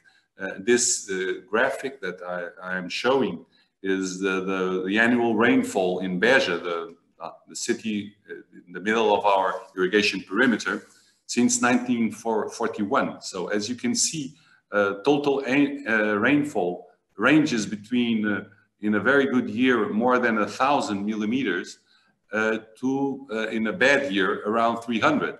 So we range from desert precipitation to a very good precipitation. Uh, uh, and, and it's, it has been going like that for forever since we in fact have records.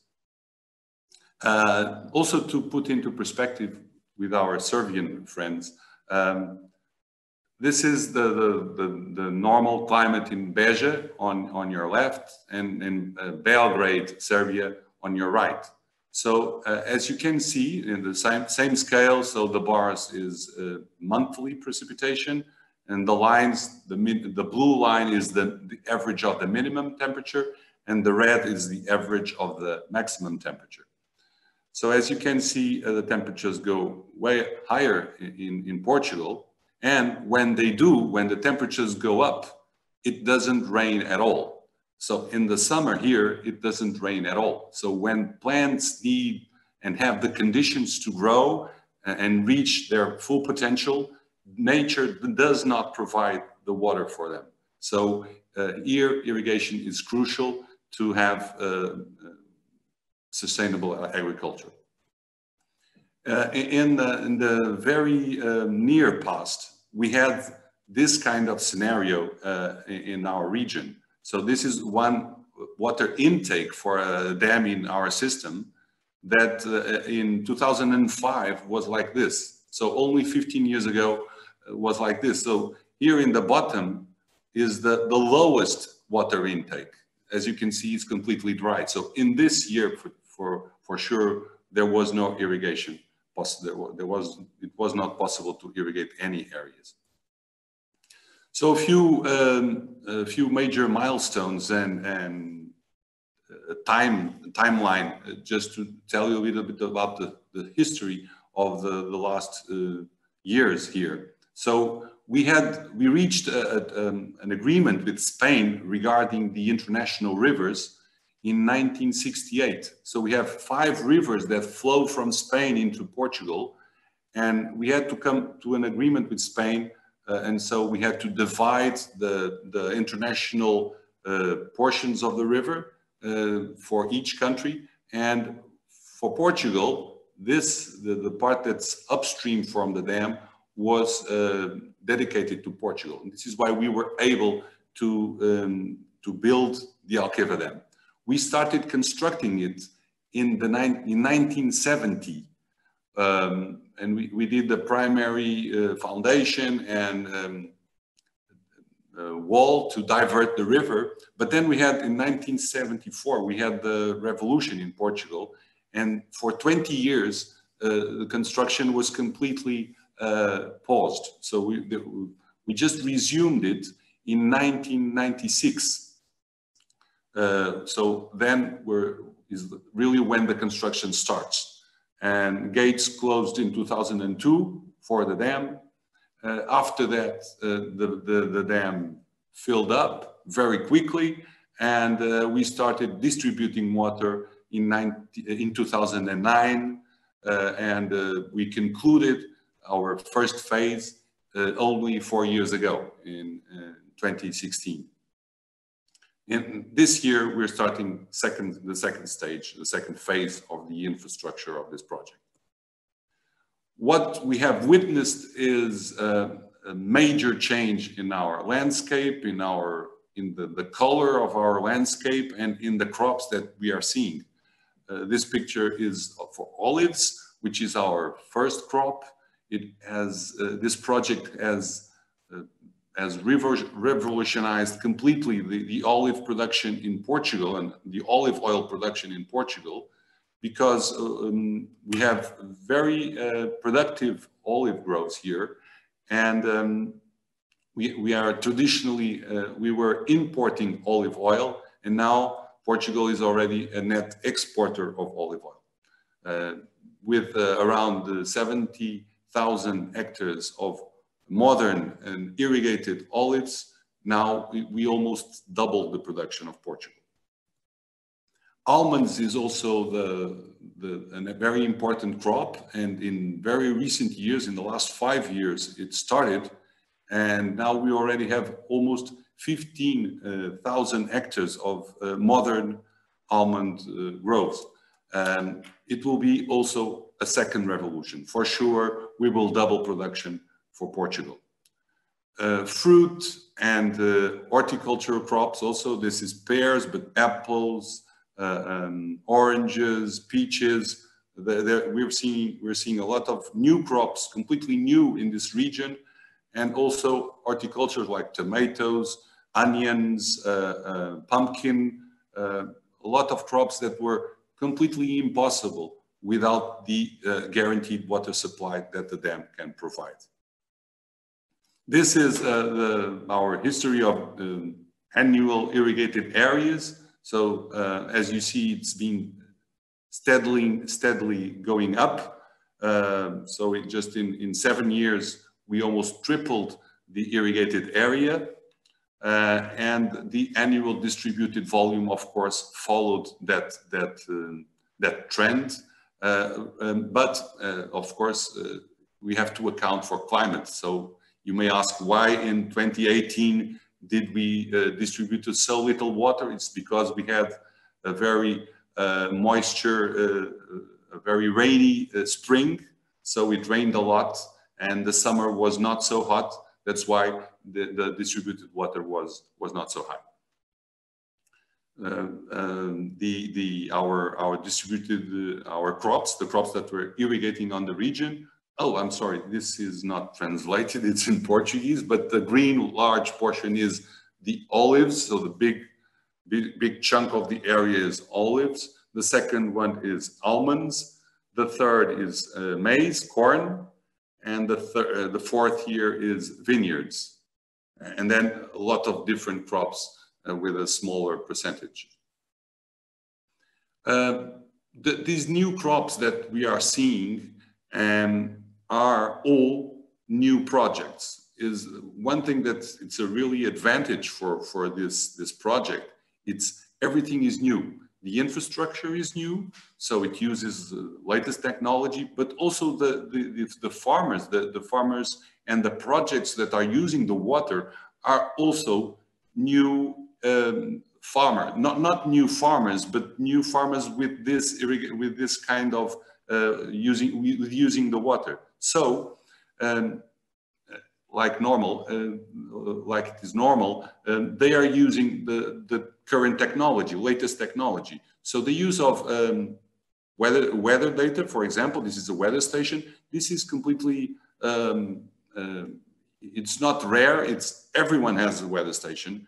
Everyone has moisture probes in the soil. Uh, everyone uses drip irrigation. So everyone uses the technology that's available, uh, easily available in the 21st century because most of the projects are less than five years old. So they're using the technology that is available right now. With this and also with the, the, the crop choices that the, farmers made, we have been uh, witnessing an average water consumption per hectare really below our ex expectations uh, 20 years ago. So um, we, we can have, we are averaging, uh, averaging around 3,000 cubic meters per, per hectare, which is 300, 300 millimeters of actual uh, uh, irrigation, um, which is much less than we were anticipating. Of course, from our uh, from the operator point of view, also latest tech, the latest technology is in use, um, and and so for example, we, we, we use a lot of Israeli technology. All the hydrants are from Israel. Um, this is uh, one of our control stations. So it's, as you can see, it's uh, pretty modern uh, and it uses all the remote, remote uh, sensing, remote probes, um, intelligent software to manage the network. And as a result of this, so uh, efficient water use on the farmer side, efficient water use on the distribution side, we can uh, think of um, starting a, a, second phase of irrigation area with using the same water that was um, planned to use uh, 30 years ago. So accounting for the inflows in the river, accounting for um, climate change that probably reduced those inflows, inflows by 15 or 20% in 100 years.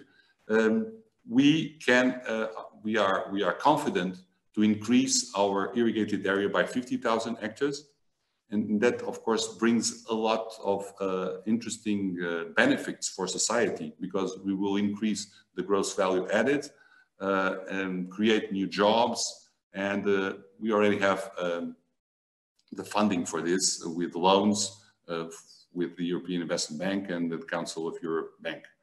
Um, and construction is already has already started. So in fact, we have four areas already under construction right now. This is our um, the green uh, area is the, the, irrigated area right now under um, operation right now, and now the the orange areas that uh, are now showing uh, are the areas that will be, we will be expanding. So in fact, we are using the, the primary network, the all the, the infrastructure that was already in place. We are, we are trying to, to find where we have surplus capacity and use that surplus capacity to, to extend the, the, our network to areas where there are no environmental issues, there are, uh, there are um, uh, farmers that are interested and willing to use the water and, and want to do so. And, and um, with the, will have a, a very interesting uh, increase in their, in their turnover. This is uh, our headquarters in Beja. Uh, just to tell you a little bit that uh, the option of the Portuguese state was also to create uh, a public company with this specific mission. Uh, we were, we are, I think, more agile than the state department in um, proper uh, planning and implementing all the, the construction that is needed and also in managing everything. So we're now um, responsible for managing, managing the water from its very beginning to, uh, to the client. So we are responsible for harvest, for capturing water, for pumping, for distributing, and for uh, getting it over to our clients. Um, an important topic for us is that um, we do not have Mr. Newton as an ally. So um, in fact, most of the irrigation perimeters uh, or a lot of irrigation perimeters around the world and in Portugal, they rely on a dam that is at a higher ground than the, the irrigation fields. In, in Alqueva is in fact the opposite. So the, the, the water level at Alqueva is lower than the irrigated fields. So we have to start by pumping it. Uh, that requires a lot of water. This is a picture of our pumping station, our largest pumping station that um, uh, just to give you a number, if it's running at, at full power, the, the energy bill at this site is 4 million euros a month. Uh, so uh, you can imagine the amount of energy that it requires. Um, and uh, we want to, um, we don't want to be dependent on the, the energy price. We want to produce our own electricity. And this is why we are investing heavily on um, floating solar. Floating solar is a very interesting technology for us because every time you have a pumping station, you have a water, we, you have water next to it. Um, here, for sure, because we use re rely only on surface water. Um, and it's very interesting to put the production, energy production next to consumption. You don't have losses and you don't have, of course, you're, you are not using um, areas that will be, would be very interesting either for forest or for, for um, agriculture. Uh, so this is our floating solar project uh, um, that will put 10 floating solar plants next to the primary pumping stations with a total power of uh, 55 megawatts. And uh, also we have an approved loan from the Bank of the Council of Europe for 45 million. Just to finish up with two topics, uh, to, to, tell you that um, this project is a multi-purpose project, but also uh, as it was made so recently, all the, the, the, worries about the society regarding the environment were taken into account.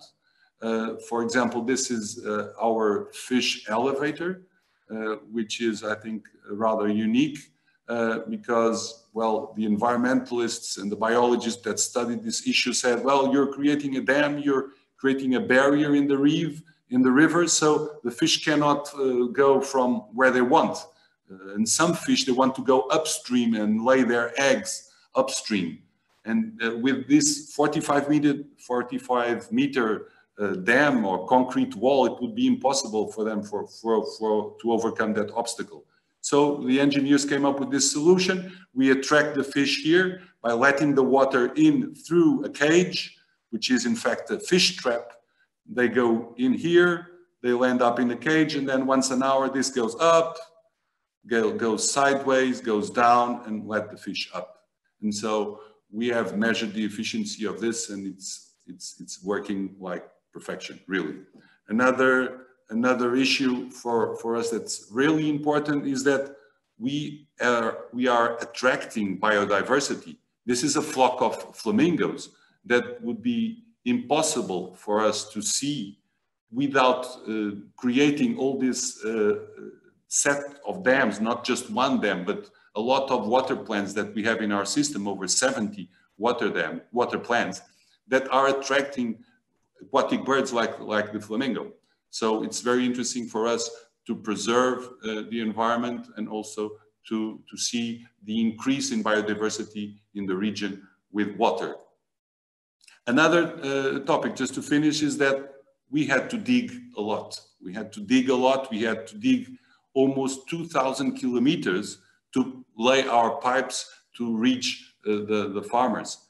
And uh, while digging, we discover a lot of things. We, we discovered, in fact, more than 2,000 archaeological sites. All of them were studied, identified, catalogued, and we found out uh, um, pieces like this one that is over 5,000 years old. And of, of course, you can imagine the civil engineers during construction, for them, the, the archaeologists were like the enemy because they were uh, putting all these uh, difficulties into uh, the advance of the construction. But uh, since we have overcome that, uh, it's uh, now a matter of pride for us to have contributed so much to, to knowledge and to preserve so much cultural heritage from the past. So um, thank you very much for your attention. This is our logo, our way to show you that uh, we are joining, uh, we're putting together the sun and the water, creating green and create, creating a fresh new land. Thank you very much. Many thanks, Jose Pedro. It was extremely interesting, plenty of information, visual elements. Thank you so much. We have quite an extensive number of questions, so I will just jump directly to the question to allow everybody to, or at least as much as possible, to have the questions answered. I mean, the first set of questions is pretty technical. They would like to know more about, I mean, more, I mean, quickly, about the farm size. What is the average farm size that is uh, irrigated? If all these farms are equipped with sensors and weather stations and other digital technologies, and what, I mean, how much irrigation has changed the productive life of these people? Meaning, I mean, were they growing cereals and then they moved to oil or fruits or fodder or, I mean, more high value crops. Over to you for a quick answer, please. Thank you very much. Okay, uh, so our average, within our client database, the average farm size is 50 hectares. That's uh, above, uh, pretty much above our national average for Portugal, which is around uh, 14, 15 uh, hectares.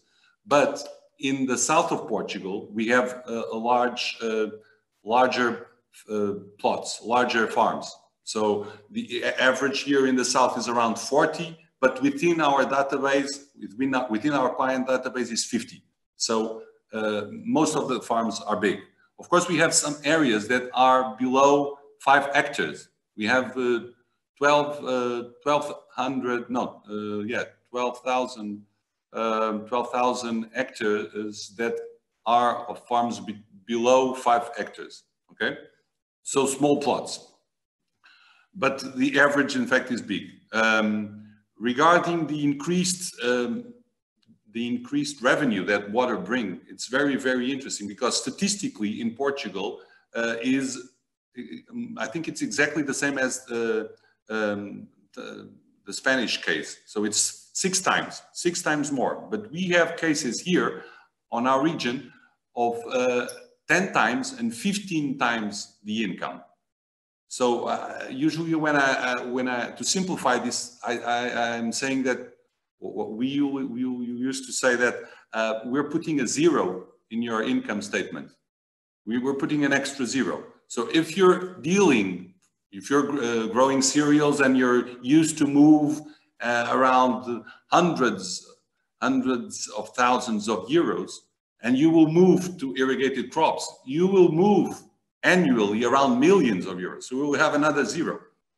And, uh, and we have witnessed a lot of cases that this is true. Um, the, the, the gross added value for, for cereal here would be probably on the hundreds of euros per hectare.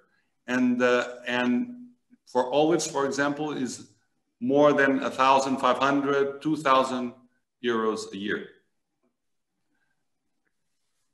Thank you. Very interesting. I mean, keeping the discussion focused for one second on this technicality, what is the percentage of farmers that join the network in your area of, of interest? I mean, how much of the farming community has actually connect have actually connected to the to the grid to the irrigation network?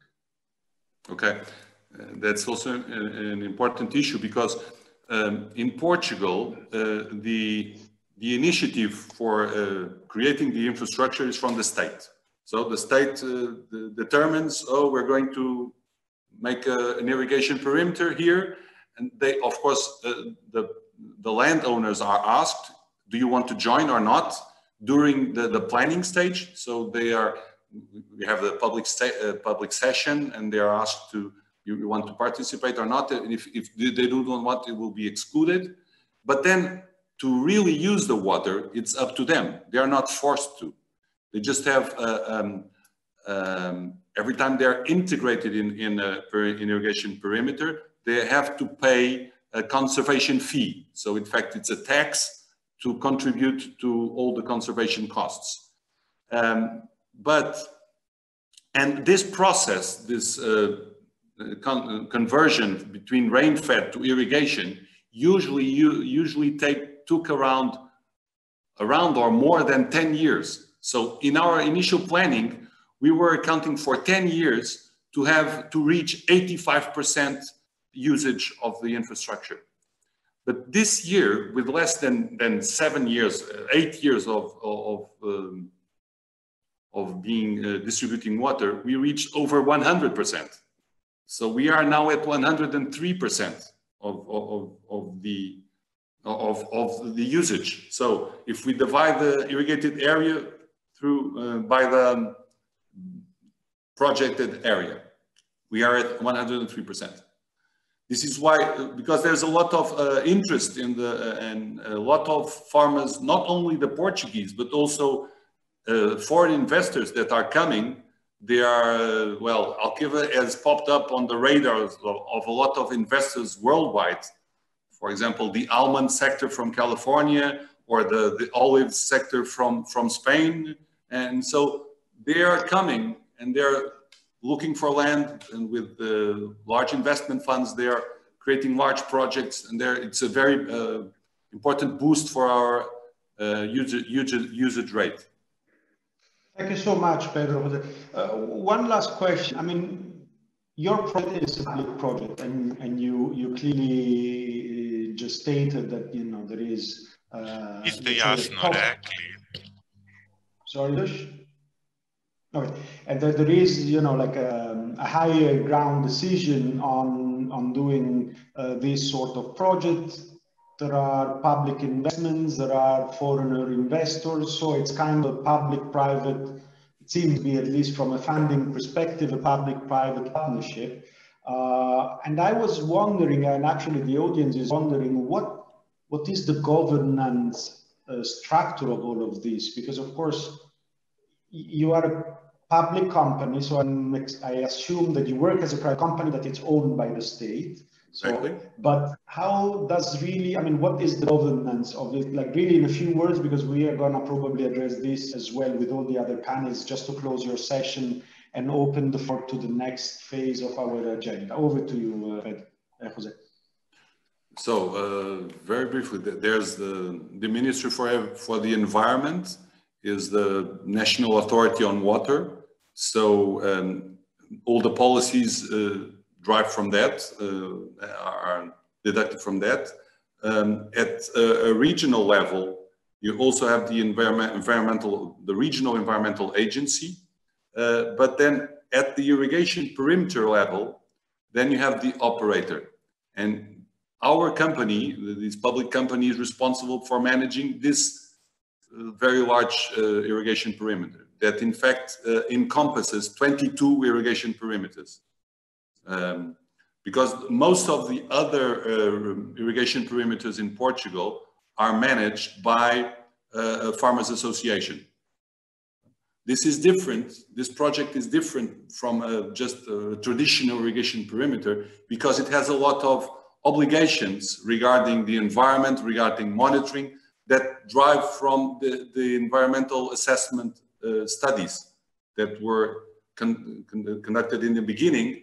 And then uh, there were, um, there's an environmental um, list, uh, list of requirements that we have to comply and they are very demanding. And this is why the state uh, thought is, it's best to have an, uh, a company, a public company that's responsible for all these things from, every subject. Many, many thanks. Uh, let me let me just move uh, forward. We we are already 12:10. I would like now all the panelists to join uh, the the presenters to join in the um, with their video if possible to uh, address a bit a series of issues that appears to be uh, common to the um, to three case studies. I mean, Israel, Spain, uh, and Portugal. Let me first just very briefly uh, share with you what is my take on, on the three uh, presentation. Now, the number one, I think it's obvious to all of us and to all the participants is that irrigation cannot be reduced to just, okay, I'm to dig a channel and move water from A uh, to B. It requires a series of elements. Not all of these elements are related to investment, to hardcore investments like you know, canals or others. We need to work on ancillary, uh, ancillary infrastructures. We need to work following economic and financial principles, but we also need to be careful at the social dimension of uh, our investment. So in other terms, it's real life. We cannot just reduce real life to a simple variable, but it's a complex set of variables. I think each of the three presentation give us specific details uh, on specific elements. I really enjoyed the emphasis uh, on research and development from the Israeli case, the importance of training and involving all uh, stakeholders from, uh, from Spain and of course from Portugal, the, the, the, fact that we are looking forward and that we are integrating as much as possible all the soft variables into the plan, I mean, from the planning phase. So there is from every presentation a bit of uh, good knowledge that could be uh, absorbed uh, by our uh, Serbian colleagues, make sure that irrigation in Serbia can take the best out of these examples as well as from the many others available uh, around, around the globe. Now, I first I would like to ask the, the, the three presenters if they have questions, their colleagues, and if so, please go ahead, feel free, you have five minutes to ask questions to your colleagues, to, to explore more on specific aspects that, you know, struck your attention or uh, that made your brain really excited about what had been uh, presented. If not, I will move with my own questions. And of course, to allow the floor to ask additional questions to be answered this time by the three of you. And please try to be as concise as possible and precise. Over to you, colleagues, for your questions.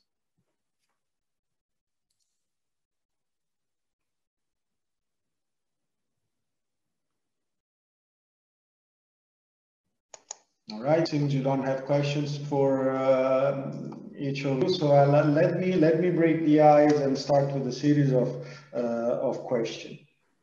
I mean, the three presentation we have clear that the role of institution is extremely important, but the role as well of the private sector, of the farmers, of farmer association, farmers cooperatives, any sort of, let's say, farmer aggregation is indispensable for the success of, of the cases. Now, how much, in your experience, do you believe each is relevant? I mean, can we say that we can have a sound irrigation development without the involvement of one of these elements, or the three are equally needed, or one is more important than the other? Over to you, please.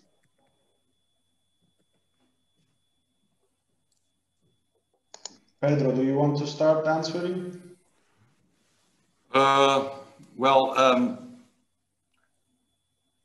we, I think uh, for sure the, the, the, the institutions are, are, very, very, very important. And um, also le legislation is also very important because we have to um, account for um, the, the more severe years. Uh, uh, if every time we are creating, we are creating capacity, um, the the natural tendency for the, the, the economical agencies will agents will be to to um, completely use it, right? To if we make available a certain amount of water, if that water is creating uh, uh, wellness and it, it's creating uh, richness, then the economical agents will have the the, the, the willingness to um, completely use it and at its full, at, at its extension.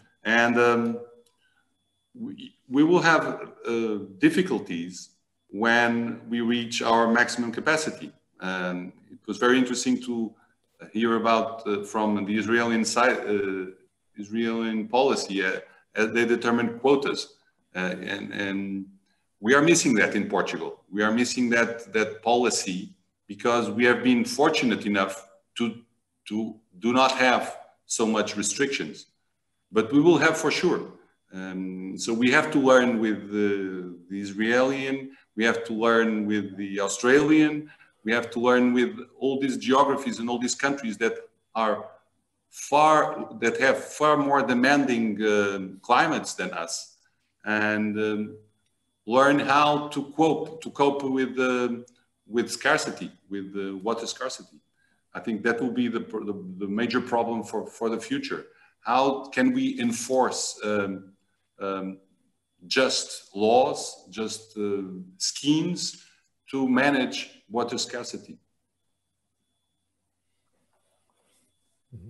Thank you, Pedro. Ryan. Yeah, I'll say a few words about, about that. First of all, know, water is considered a, a global uh, problem, people say challenge, but the solutions are local. And as Pedro said, every geography is different. Uh, and also, as Pedro said, every geography will eventually reach a demand that cannot uh, comply with the supply or with the availability of water. And uh, in some cases, uh, would have a country where there's abundant water in one area and, and uh, lack of water in another.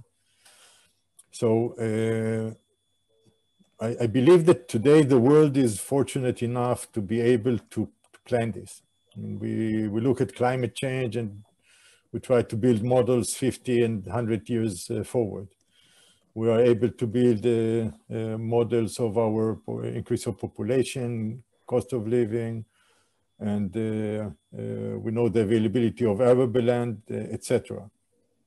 The, the best way to, to mitigate such issues is by building a long-term master plan, which Israel has done uh, about 10 years ago. And uh, um, the plan has to be comprehensive and holistic. The plan has to include everything. It can have areas where you don't need to monitor the water. That's fine. But it has to be a result of planning and not a result of some historical inertia. So I, I would I would say let's take it from the top, from the government, by saying we have the tools to build long-term plans now. Let's do that. And in these long-term plans, we will know where to focus more, where to focus less on water conservation, on water reuse, on generating new water resources, or on changing agriculture. The crops grown today in Israel are different than those uh, 40 years ago. Okay, we don't need to put everything on irrigation. We can also tell the farmers, uh, okay, look, irrigation is an issue, rice and cotton uh, are not going to be popular in our country. That's also okay, and that's what uh, uh, what needs to be considered.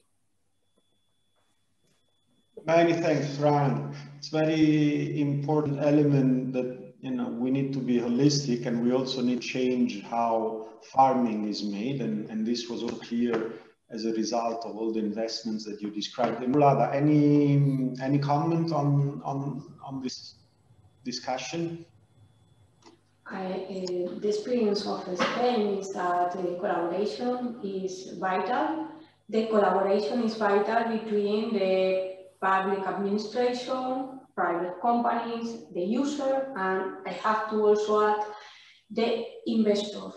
The innovation uh, is, is, a, is a clue in all in this moment that uh, we face the climate change, but uh, we need the collaboration of the fourth because as Pedro said, administration, public, the public administration put the rules that we, the, the, the rest of the stakeholders must to follow. Um, uh, the, the private company is, is important. They are there all the time and they have to put all the technology in the, in the field, but the user must know the new technology and there is a, um, we have to create, the, the public administration in Spain is, is is, is thinking how um, is, is trying to put this new technology in, in, the, in, the, in the farm is because that the training is so important and the investor must collaborate with all the system also to, to put the innovation that are uh, the, they are investing in the farm also. How to create the, the channel to uh, communicate the, innovation to the farmers. Um, in all of these, uh, all the four stakeholders, I think, I think are so important each one in its role, but it's important uh, for the system uh, to, to, to function, to work. Many thanks, Immaculada. I, I, would say that the three answers you provide drives me to, to, to, an, you know, to a follow-up question. I mean, how, I mean, in what measure agriculture, agricultural policies are relevant in, in ensuring the adoption of, uh, of irrigation?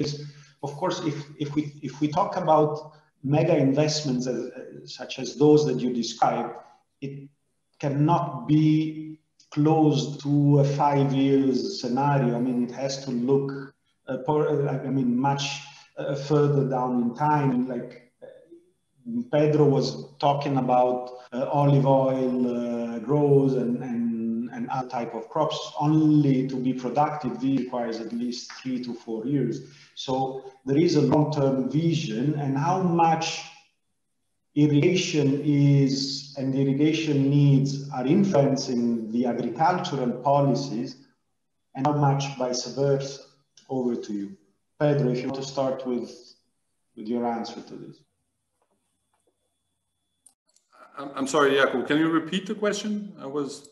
Sure. How much irrigation needs and irrigation policies are influencing the agriculture development policies and how much agriculture development policies are influencing irrigation. If you can tell us from your cases how the two are moving, because sometimes what we see is that there is major emphasis on irrigation, but the entire part that also Ran was you know, talking about before, meaning that also farming has to change, and that you also described, it's not very often taken into consideration. Now, in the three cases that you presented, it seems that the two goes at least uh, side by side, but it's not always the case. So how much do you think this should be pushed for, this parallel yes. work on agricultural policy and irrigation policy? Over to you. Yes, for sure. They have to go hand in hand. Otherwise, uh, you will have infrastructure, but won't have uh, farmers using it. Um, what we had in here in Portugal is that, well, uh, the, the, the state created the conditions. So the public sector created the, the infrastructure and started at the initiative, uh, did the studies. Um, it was very much criticized.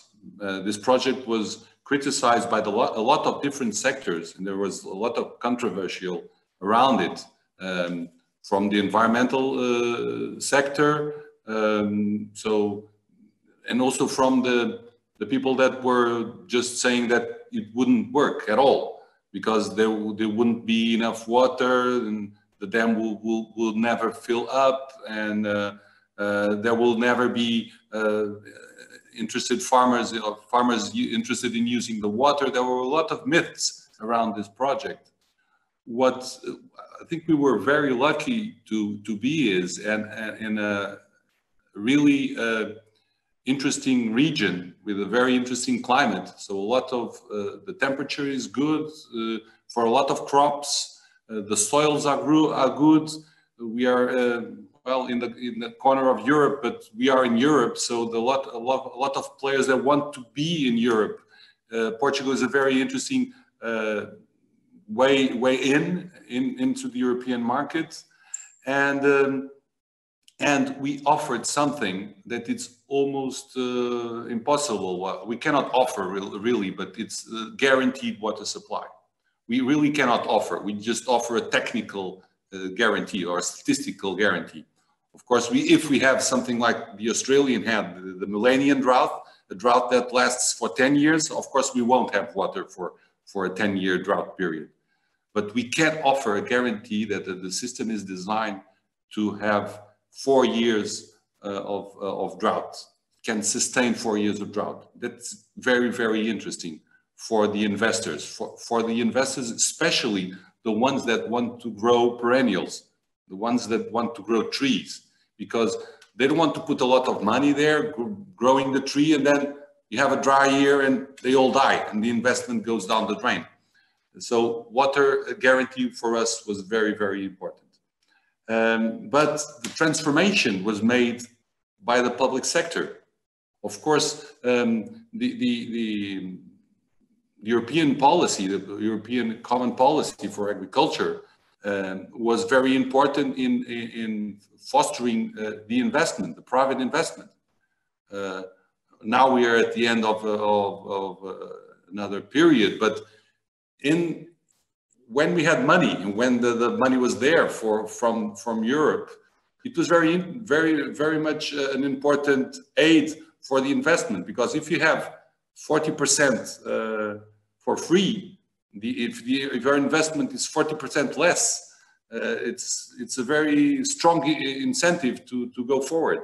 And so all these players they took this into consideration, and this is why we had such a, a fast change.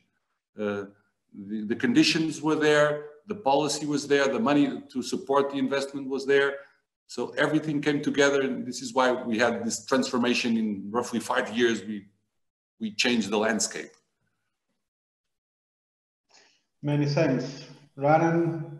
What's uh, your point? What's your yeah, I'd say maybe a few comments uh, quickly. First of all, let's remember that technology is a tool, not a target. Uh, we, we don't put drip irrigation because we think it's nice. We'll put drip irrigation if it makes sense to use it. Incentives can come in the form of grants. Uh, they can also come in the form of uh, funding programs or uh, spreading the expense, such as loans. And, and that way, they, they are um, more able to assure that the investment is sustainable. Because what we don't want to see is we don't want to see uh, an irrigation system installed and not used. Uh, so so the, these uh, uh, these systems need to be installed in a uh, in a reasonably economic and, and sustainable uh, response to a need, and then it, it's not a problem. So, and, and as I showed, there are many alternatives. I mean, drip irrigation is, is one alternative to advanced irrigation technologies. And even drip irrigation itself, there are many types of drip irrigation. There are many types of drip irrigation management systems. So uh, I would say that incentives are important, but we need to, to give the right incentives. Uh, for example, you can install a system for free, but if you put it in a place where it's not needed, it, doesn't matter. Okay? Uh, maybe one more comment. Uh, we, we sometimes talk about the farmer, but uh, again, there's sometimes national interest. If the national interest in Israel was primarily to to survive in the beginning, uh, national interest in, in Serbia is uh, also to generate uh, an international market for crops for crop products. So in that aspect, uh, the, the purpose of the incentives could be different and it could be balanced by national export and not only by what it does to the uh, economics of a specific farm.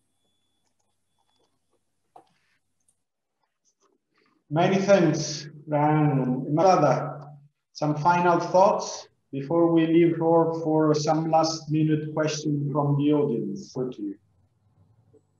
I agree with uh, my colleagues. I have to add in the case of Spain, is, uh, mm, agriculture is vital. Uh, we are great producer of food and it's important for food security in the first uh, uh, step. In the second, we are exporter also. So irrigated agriculture is very important for, for us, for our country, and it's, a, it's a demand of the, the farmer that the administration has to, to progress in the irrigation policy to, to make the, the irrigation uh, areas uh, more sustainable and uh, permit the, the, the, improvement of these areas. But I think it's uh, both sides.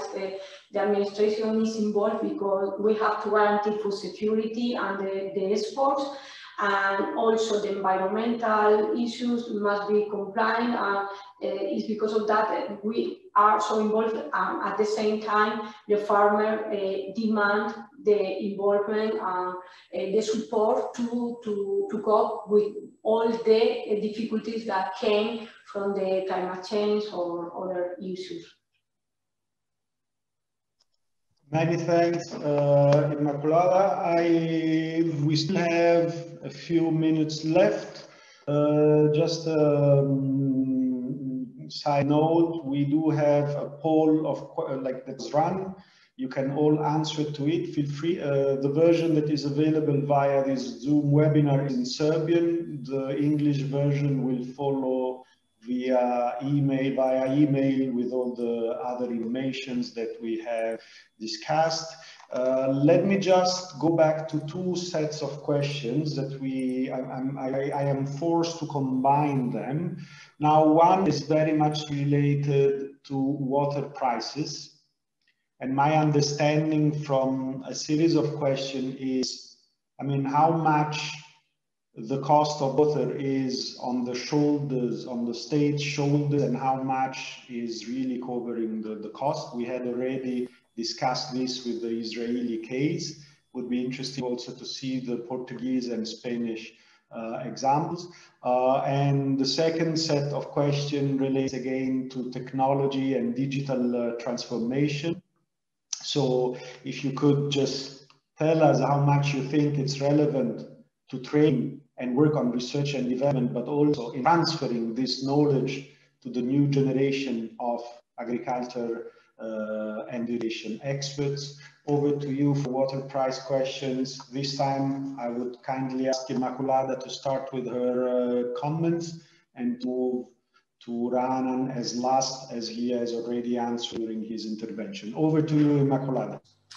As I said, the, the cost of the water is an issue of the other ministries, the Ministry of the, the, trans, the Ecological Transition. And in, as I, I could say that uh, there is uh, some part of the cost, if, if we we talk about the infrastructure, the cost of the infrastructure. There is a part that is supported by the, the public administration and also all, all the time uh, the, the farmer uh, must pay for the cost of the water in all the cases. In some cases, they pay more or less, depending on the, the, the, availability of the water, the source of the water, as I said, but they have to pay to, uh, there are two types of, um, I don't know how to say, uh, impostos, uh, taxes, that they have to pay uh, related to the infrastructure that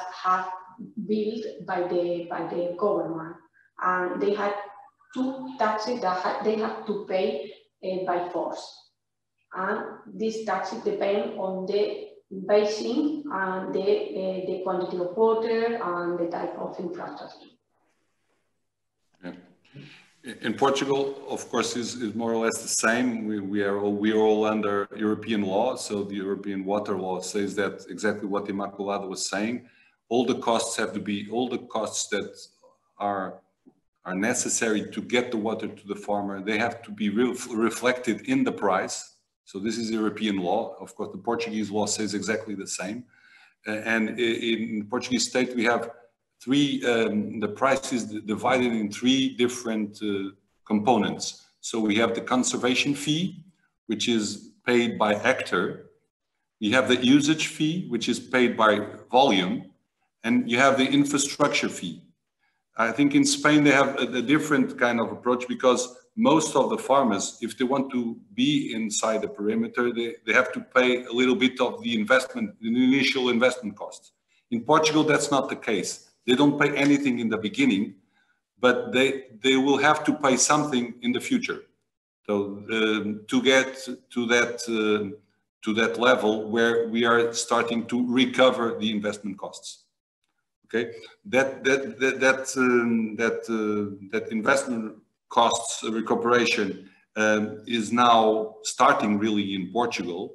Um, the, the tradition has been only to charge the, the, the users for the variable cost, not for the initial investment. Because there's uh, this concept that is also verified already, especially in the, in the Alqueva project, we have a lot of studies around it. Uh, the state re can recover a lot of costs indirectly uh, through increased uh, um, revenues in taxes, in, in uh, VAT and in revenue taxes, so in, in social, social taxes. There are a lot of taxes where the increased economic activity that will generate increased taxes. And so um, for, for us, just I, I, didn't give you the, the number, but in the Alqueva, uh, the, the cost, the total cost, if we put it all together, it's between four cents and eight cents if it's pressurized water or unpressurized water.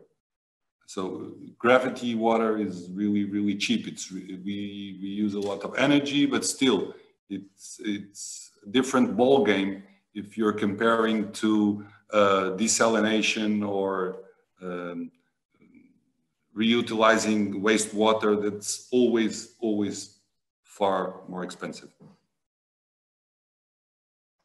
Pedro. Uh, Raanan, any last really comment on this in addition to what you already shared with us during the presentation? Over to you. Well, uh, basically everything is included in the water price. Uh, what uh, what I find um, uh, maybe my my role in this set would be to answer the question about digital technologies. Uh, digital technologies uh, are not only in water, but of course, in water, they have a, a, huge impact because it's a relatively traditional and, uh, and less digital field uh, until today. They help us close cycles much faster by bringing information, more information on quantity and quality, real time, and more information on more locations of usage and sources of, uh, of water.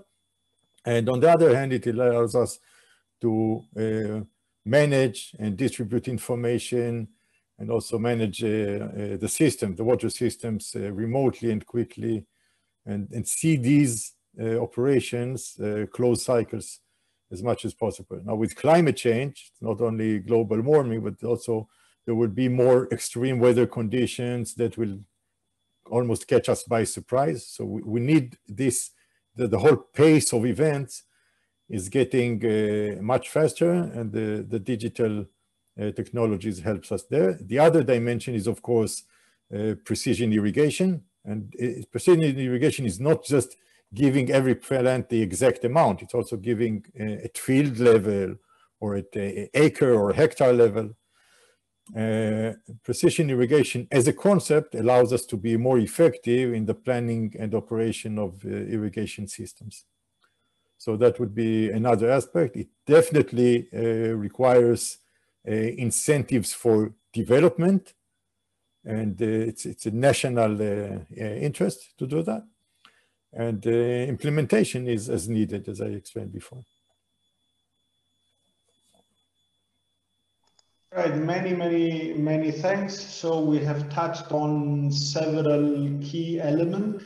Um, I'm particularly interested that the main focus also of the, of the questions were more on the soft side rather than the uh, infrastructural side. I, I think we can go back home saying yes, the infrastructure is needed. Indeed, we need to have an investment, but we also need to invest in policy development. Planning is a key element to success, and this planning should be as much as possible holistic, participated with all the stakeholders, and includes the multi-dimension of uh, that, that, that characterize irrigation. So the environmental, the, the, the, the, the visionary part by saying this, meaning to look not at the next five, six years, but at the next 30, 40 years, the knowledge transfer, the research and development, and let me conclude, though we have not touched upon it, the easy maintenance, operation maintenance of all the systems, because this is an aspect that we did not touch too much. And I would like to remind all of us that as much as technology is fancy and interesting, and as much as we have billions to invest, operation and maintenance, it's very important. So by doing, by saying this, I would like to thank all the panelists, to thank very much our um, participants. I'm glad that we had an average of 110 attendees during the whole uh, uh, webinar. I would just leave the floor one minute to Tamara to give us a few hints and explanation of what will follow, and then I will gladly thank all of you for your kind support and participation. Tamara, over to you. The floor is yours.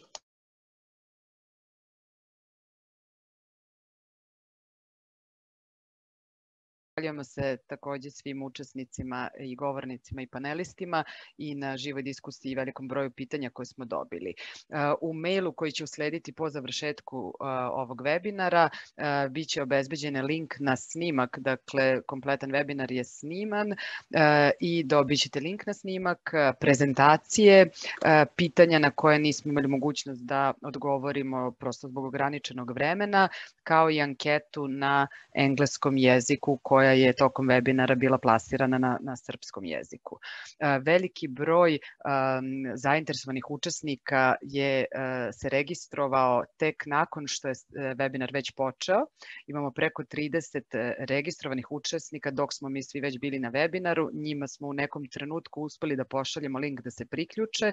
Onima koji se nisu priključili, takođe će biti prosleđen link sa snimkom webinara, pa će imati priliku tako da, da vide o čemu i na koji način je bilo reči tokom ovog webinara. Ja se Jakopo. I can just English because I think the transmission uh, has ended and so that so the panelists could, uh, unless it translated into English. Was it okay? Also, perfect. Thank you very much, Tamara. Thank you. You cannot hear me. Okay, so thank thank you everybody. It was a very fruitful uh, meeting.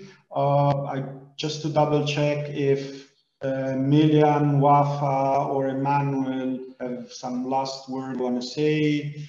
Uh, the floor is yours. Otherwise, we can close the meeting and thank our attendees for their very relevant questions and participation. Over to you, uh, Wafa and Emmanuel, if you have any, and of course the Water Management Directorate, if there is any last word from them. No, I just would like to thank everybody. It was really very, very exciting and very interesting, and the discussion was was uh, very, um, uh, um, yeah, I mean, uh, interesting in the sense that it can give some very good guidance to, to Serbia and how we have to move in that uh, in the project and guidance to us in implementing the project. So yeah, I agree with you. The planning, the the the, the governance, the participation of all the the uh, users of the water, as well as all the you know policy aspects uh, for incentives and non-incentives is is very important. So thank you all for for being there, and it was really exciting. Glad to meet you all. Thank you. Thank you very much, Wafa. Thank you, Tamara. Thank you, Milos. Miljan, over to you. Uh, thank you, Kopa. I know I'm not going to be taking much of your time. Thanks again for everyone and indeed for all our guests today. Um, to me, it just shows that there is plenty to, to for us also in the bank to learn, but also probably to, to, to, to, to our friends and partners in Serbia that, you know, knowledge transfer and experience for more advanced markets it's a key in order not to you know to to to get the best uh, practices and lesson learned and i think this is exactly the platform and this project is, is is precisely designed for for this so i do hope that certainly, you know, Emmanuel and I were exchanging a little bit of messages. We just realized there is a lot of work to be done, uh, and we do hope that FAO and ourselves, together with the with the Serbian authorities and the people in the in the relevant uh, institutions, you know, and all the stakeholders, um, we have plenty of work to do and and and and, build up on on on, this. Uh, this is only beginning of the of the journey, obviously, and uh, I do hope that we as a bank will be also playing the role not only in investments and and financing the capital investments, but also in many soft components from legislation and everything else that we see is going to be needed to make uh, the, the, the, this infra sustainable and, and address the all issues that uh, all three of uh, experts have been uh, have been mentioning today. Thank you. Thank you very much, Miljan. I I think if unless we have any last minute comment from the Water Management Directorate, no, we can we can really close this event by thanking our panelists, presenters, excellent job, fantastic, thank you so much. And uh, say goodbye to all the, uh, the panel, the attendees, and we will follow up shortly. Please have a nice afternoon and goodbye to all.